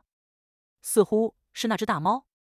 玉灵府欺我妖族太甚，拐卖我妖族儿郎，欲使我妖族儿郎奇耻大辱。今日你玉灵府必须给一个说法。赤猫妖威浩荡，威猛的声音传荡而出。玉灵府主嘴角抽了一抽，总觉得这只胖老虎似乎很喜欢端架子显威风。只是这什么妖族是怎么回事？灵兽，吾乃大妖王。大妖王阁下，我玉灵府与你灵妖族有些误会，这些误会都是那个灵兽贩子制造的。放屁！哪来的误会？那贩子肯定是你玉灵府的人，休要狡辩，必须给一个说法。玉灵府主脸色发黑。妖族与玉灵府的谈判正在进行当中，而在谈判的后方，一座山峰上，一艘飞舟悬浮着。这赤猫学坏了呀！李玄感叹一声：“这只文化虎竟然学会坑人了。”赤猫看起来很威武吗？月儿感叹道：“我还是喜欢胖乎乎的小赤猫。”素灵秀嘀咕着。谈判在进行中，剑拔弩张之势越来越强烈。赤猫胃口太大了，一开口就要玉灵府赔偿十万株神品灵药。玉灵府主差点炸了，十万株神品灵药，这只胖虎可真敢开口的。谈判继续，最后赤猫与玉灵府主大战了一场，玉灵府主脸色很难看，他竟然险些扛不住大妖王的狂暴攻击。经过一番讨价还价之后，谈判达成了，赤猫非常满意，这一笔买卖值了。至于玉灵府的报复，他才不惧。天灵州是最好的屏障，哪怕玉灵府联合其余超然灵宗，也无法将妖族剿灭，反而会损失惨重。玉灵府带回了被抓的长老，赤猫等妖族退回了天灵州。喵喵！赤猫与玉小龙、小哈在安排好妖族任务后，就跑到非洲里来了。一如既往，赤猫变成了一只胖乎乎的猫，兴奋地跑到李玄脚边蹭着，讨好着主人。接着又去讨好素灵秀，顺便将从玉灵府弄来的灵药交给素灵秀。赤猫，你出去了啊？素灵秀揉着胖乎乎的赤猫脑袋，笑颜如花地道：“喵喵。”赤猫得意洋洋，玉小龙转了一圈，没有看到许岩，有些失望。小哈没有见到方浩，也是如此。他们没有在非洲逗留太久，便返回妖族圣殿处理妖族事务。非洲在天灵洲四处飘，赤猫趁此时机留在非洲里讨好主人，讨好素灵秀，顺便补充已经消耗完毕的丹药。你的大妖术还有很大的进步空间，比如妖族神通也该多悟悟。李玄手里的玉如意轻轻敲了敲赤猫的脑袋，道：“赤猫点头。”你已经领先了其余灵兽，一步先步步先，可以挑着传大妖武道了。你既然要创立妖族，那便悟一悟化形之术吧。李玄抬手将编出来的化形之法，以点妖术的法门传入赤猫意识中。既然是妖族了，若是不懂得化形，只能是兽类模样，与印象中的妖族终究差了一些。赤猫若有所思，化形。他想起了自己人力而战，爪子搂着朱行正的情形。若是化形之后，顶着一颗威武的虎头，肌肉虬结威猛。一只大手拎着朱行正的情形，似乎也很霸气啊！而且化形之后，大妖武道也会不同了，可以与武者一样施展武技功法。喵！赤猫点头，必须要化形啊！师傅，我觉得赤猫还是这样子可爱，化形后就不可爱了。素灵秀嘻嘻笑道：“喵喵！”赤猫慌忙表示自己一直都会这么可爱的，只会在外面才化形。李玄哑然失笑，赤猫可真够精的，知道怎么样。才能获得更好的待遇。非洲在天灵州飘荡，赤猫让妖族收集送来了不少灵药。在离开天灵州前，素灵秀给了赤猫一堆丹药。有了这些丹药，妖族的实力将会进一步增强。而赤猫也开始培养妖族天骄，培养属于自己的妖族子弟。去云山州吧，素灵秀说道。杜玉英与云淼淼在云山州太淼宗，正好可以去见一见故人。非洲前往云山州，更是在距离太淼宗最近的一座大城外降临。消息传到了太淼宗，杜玉英与云淼淼从太淼宗下来，前往长青阁。翠儿与无双自然也在。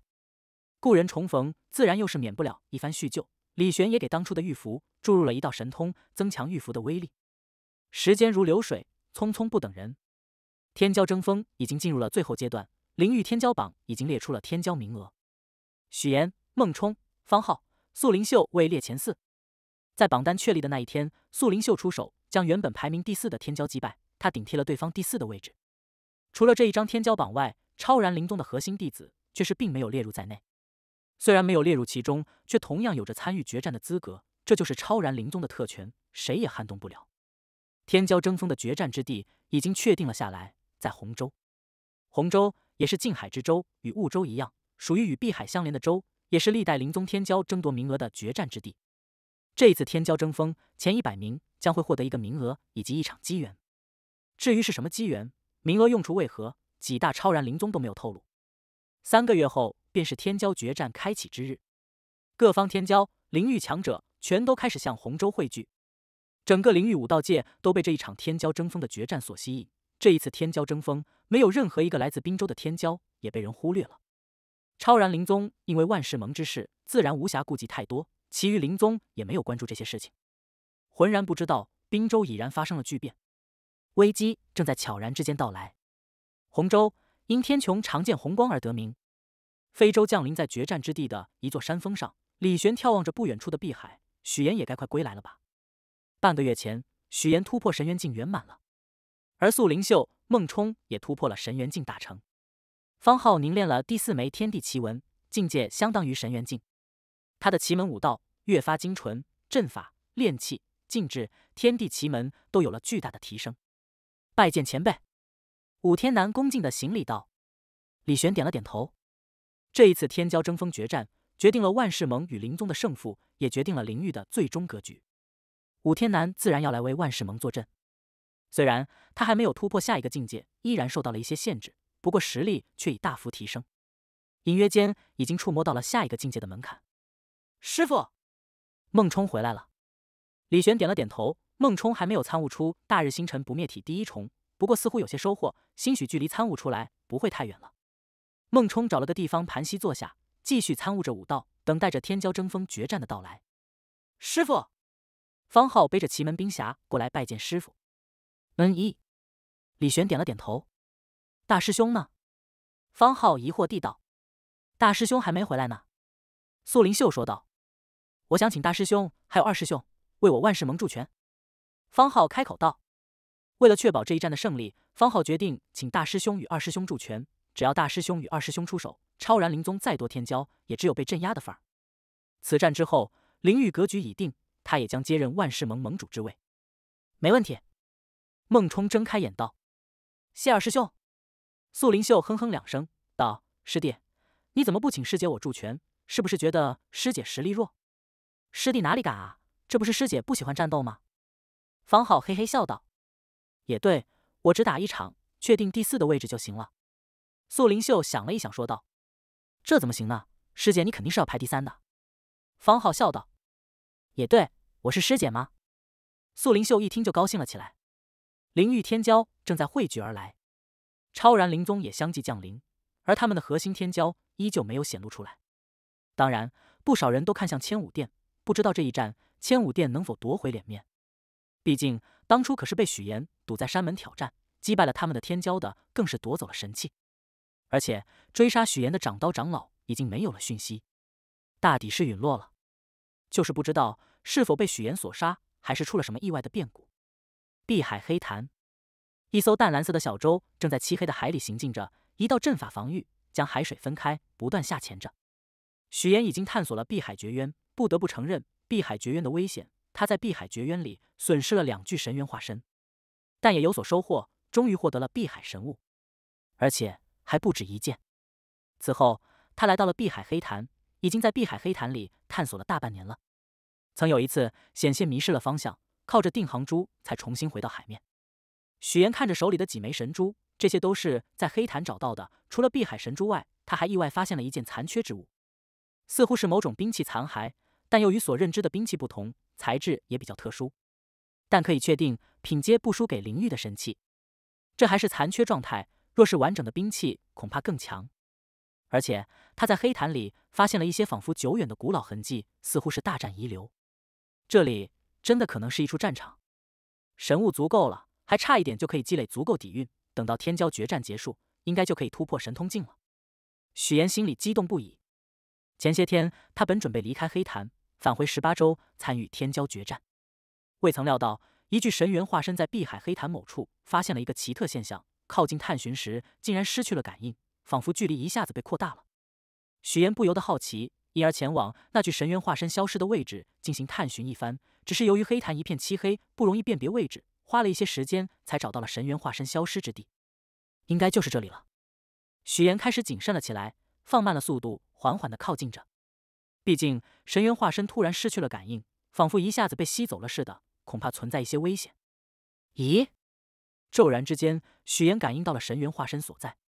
让他吃惊的是，神元化身处在一个诡异的洞窟之中。这个洞窟非常奇特，看似在海底出现，却又并非海底洞窟，四周没有泥土，给人一种自成空间的感觉，又仿佛在天地之间洞开了一个窟窿似的。许岩继续靠近，意识与神元化身联系上。此刻他眼前所见是一个不足三尺方圆的小洞窟，而神元化身正是被吸入了这个洞窟里。诡异的是，洞窟宛若波纹荡漾般，仿佛正在缓慢的扩大。并且有一股特殊的力量不断在洞窟底部涌现而出，天地法则之力，还有一股渗透而来的力量，似乎将天地法则撑开，形成了一个窟窿。这并非正常的地下洞窟。许岩凝眉，感应着洞窟四周，感应到了天地法则之力，只是仿佛被撑开了。在洞窟四周，天地法则之力使得洞窟里面仿佛不存在天地法则，但洞窟里又有一股未知的力量正在侵蚀而来，撑开天地法则，形成一个洞窟。许岩小心翼翼。循着与神元化身的意识相连，慢慢靠近了洞窟所在。一片漆黑之中，几乎无法看到洞窟，只能通过洞窟弥漫而出的一股特殊的力量，才辨别到了洞窟的具体位置。这是什么洞窟？碧海黑潭的根源就是这个洞窟造成的。许岩诧异不已。此刻他在洞窟外面，一具神元化身在洞窟里面，内外两个视角观察，使得他更容易看到洞窟的具体模样。天地法则被撑开，仿佛自成空间似的。就像是洞穿了天地空间，许岩突然一怔，脑海中灵光一闪，他想到了神像境之上的境界破虚境。虽然这个洞窟与破虚境无关，但洞窟的存在就仿佛洞穿了天地空间遗留下来的洞窟似的。这一刹那，许岩有了一些明悟，兴许可以将这个奇特的洞窟作为参考，参悟一番破虚境武道之法。想到此处，许岩盘膝坐在遁海舟上，神意覆盖而出。笼罩着洞窟，瞬间有一种神意要被洞开，又或是要被吸走的感觉。与此同时，洞窟内的神元化身也在细细感悟着洞窟，伸出手抚摸在洞窟壁上，任由洞窟的未知力量将他的手牵扯入洞窟壁中。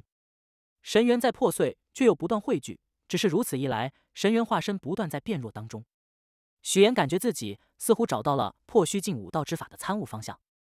漆黑的洞窟里，许岩的神元化身一只手探入了洞窟壁里。正在细细的探查着其中的特殊之处，神元化身的手不断崩灭，不断被洞窟里渗透而来的未知力量崩灭。每一次崩灭之后，都会重新凝聚出来。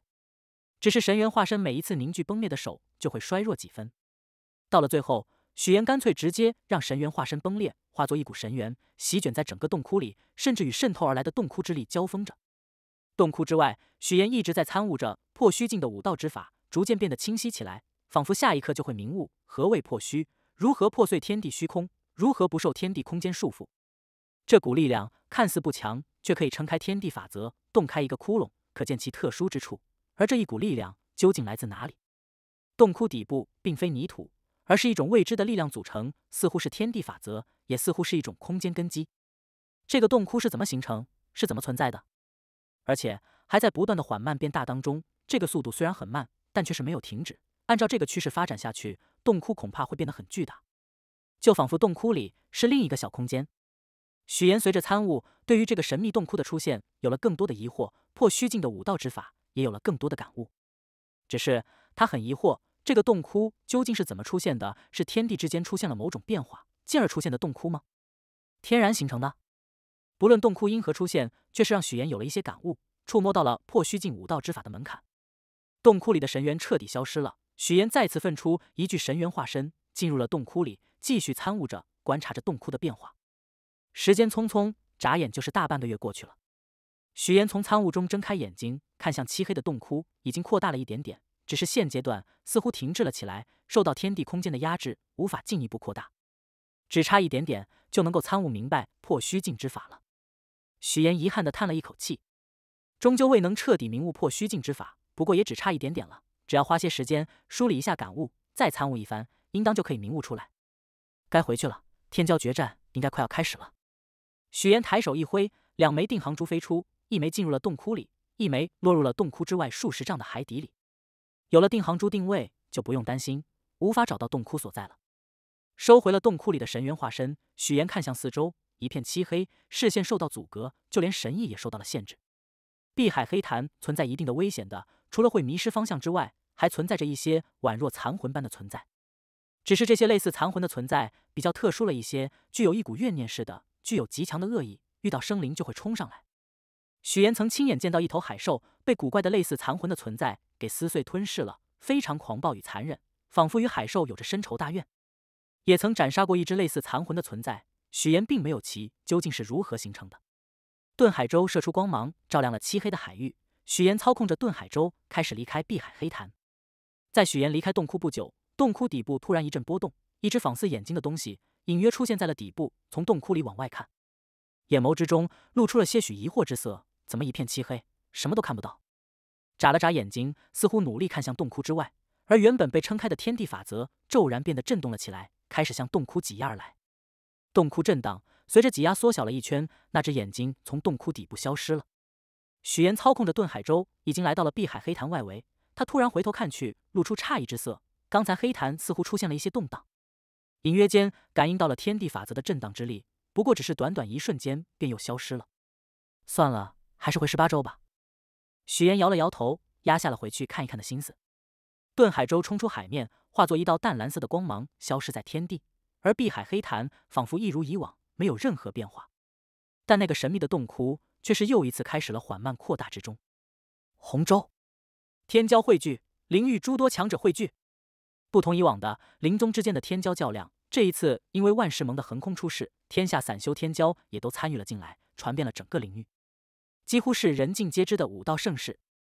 不过，哪怕是这种盛世，洪州之外的武者想要来观看，最少也需要炼神天人的实力，否则。光是长途跋涉都存在不少的危险。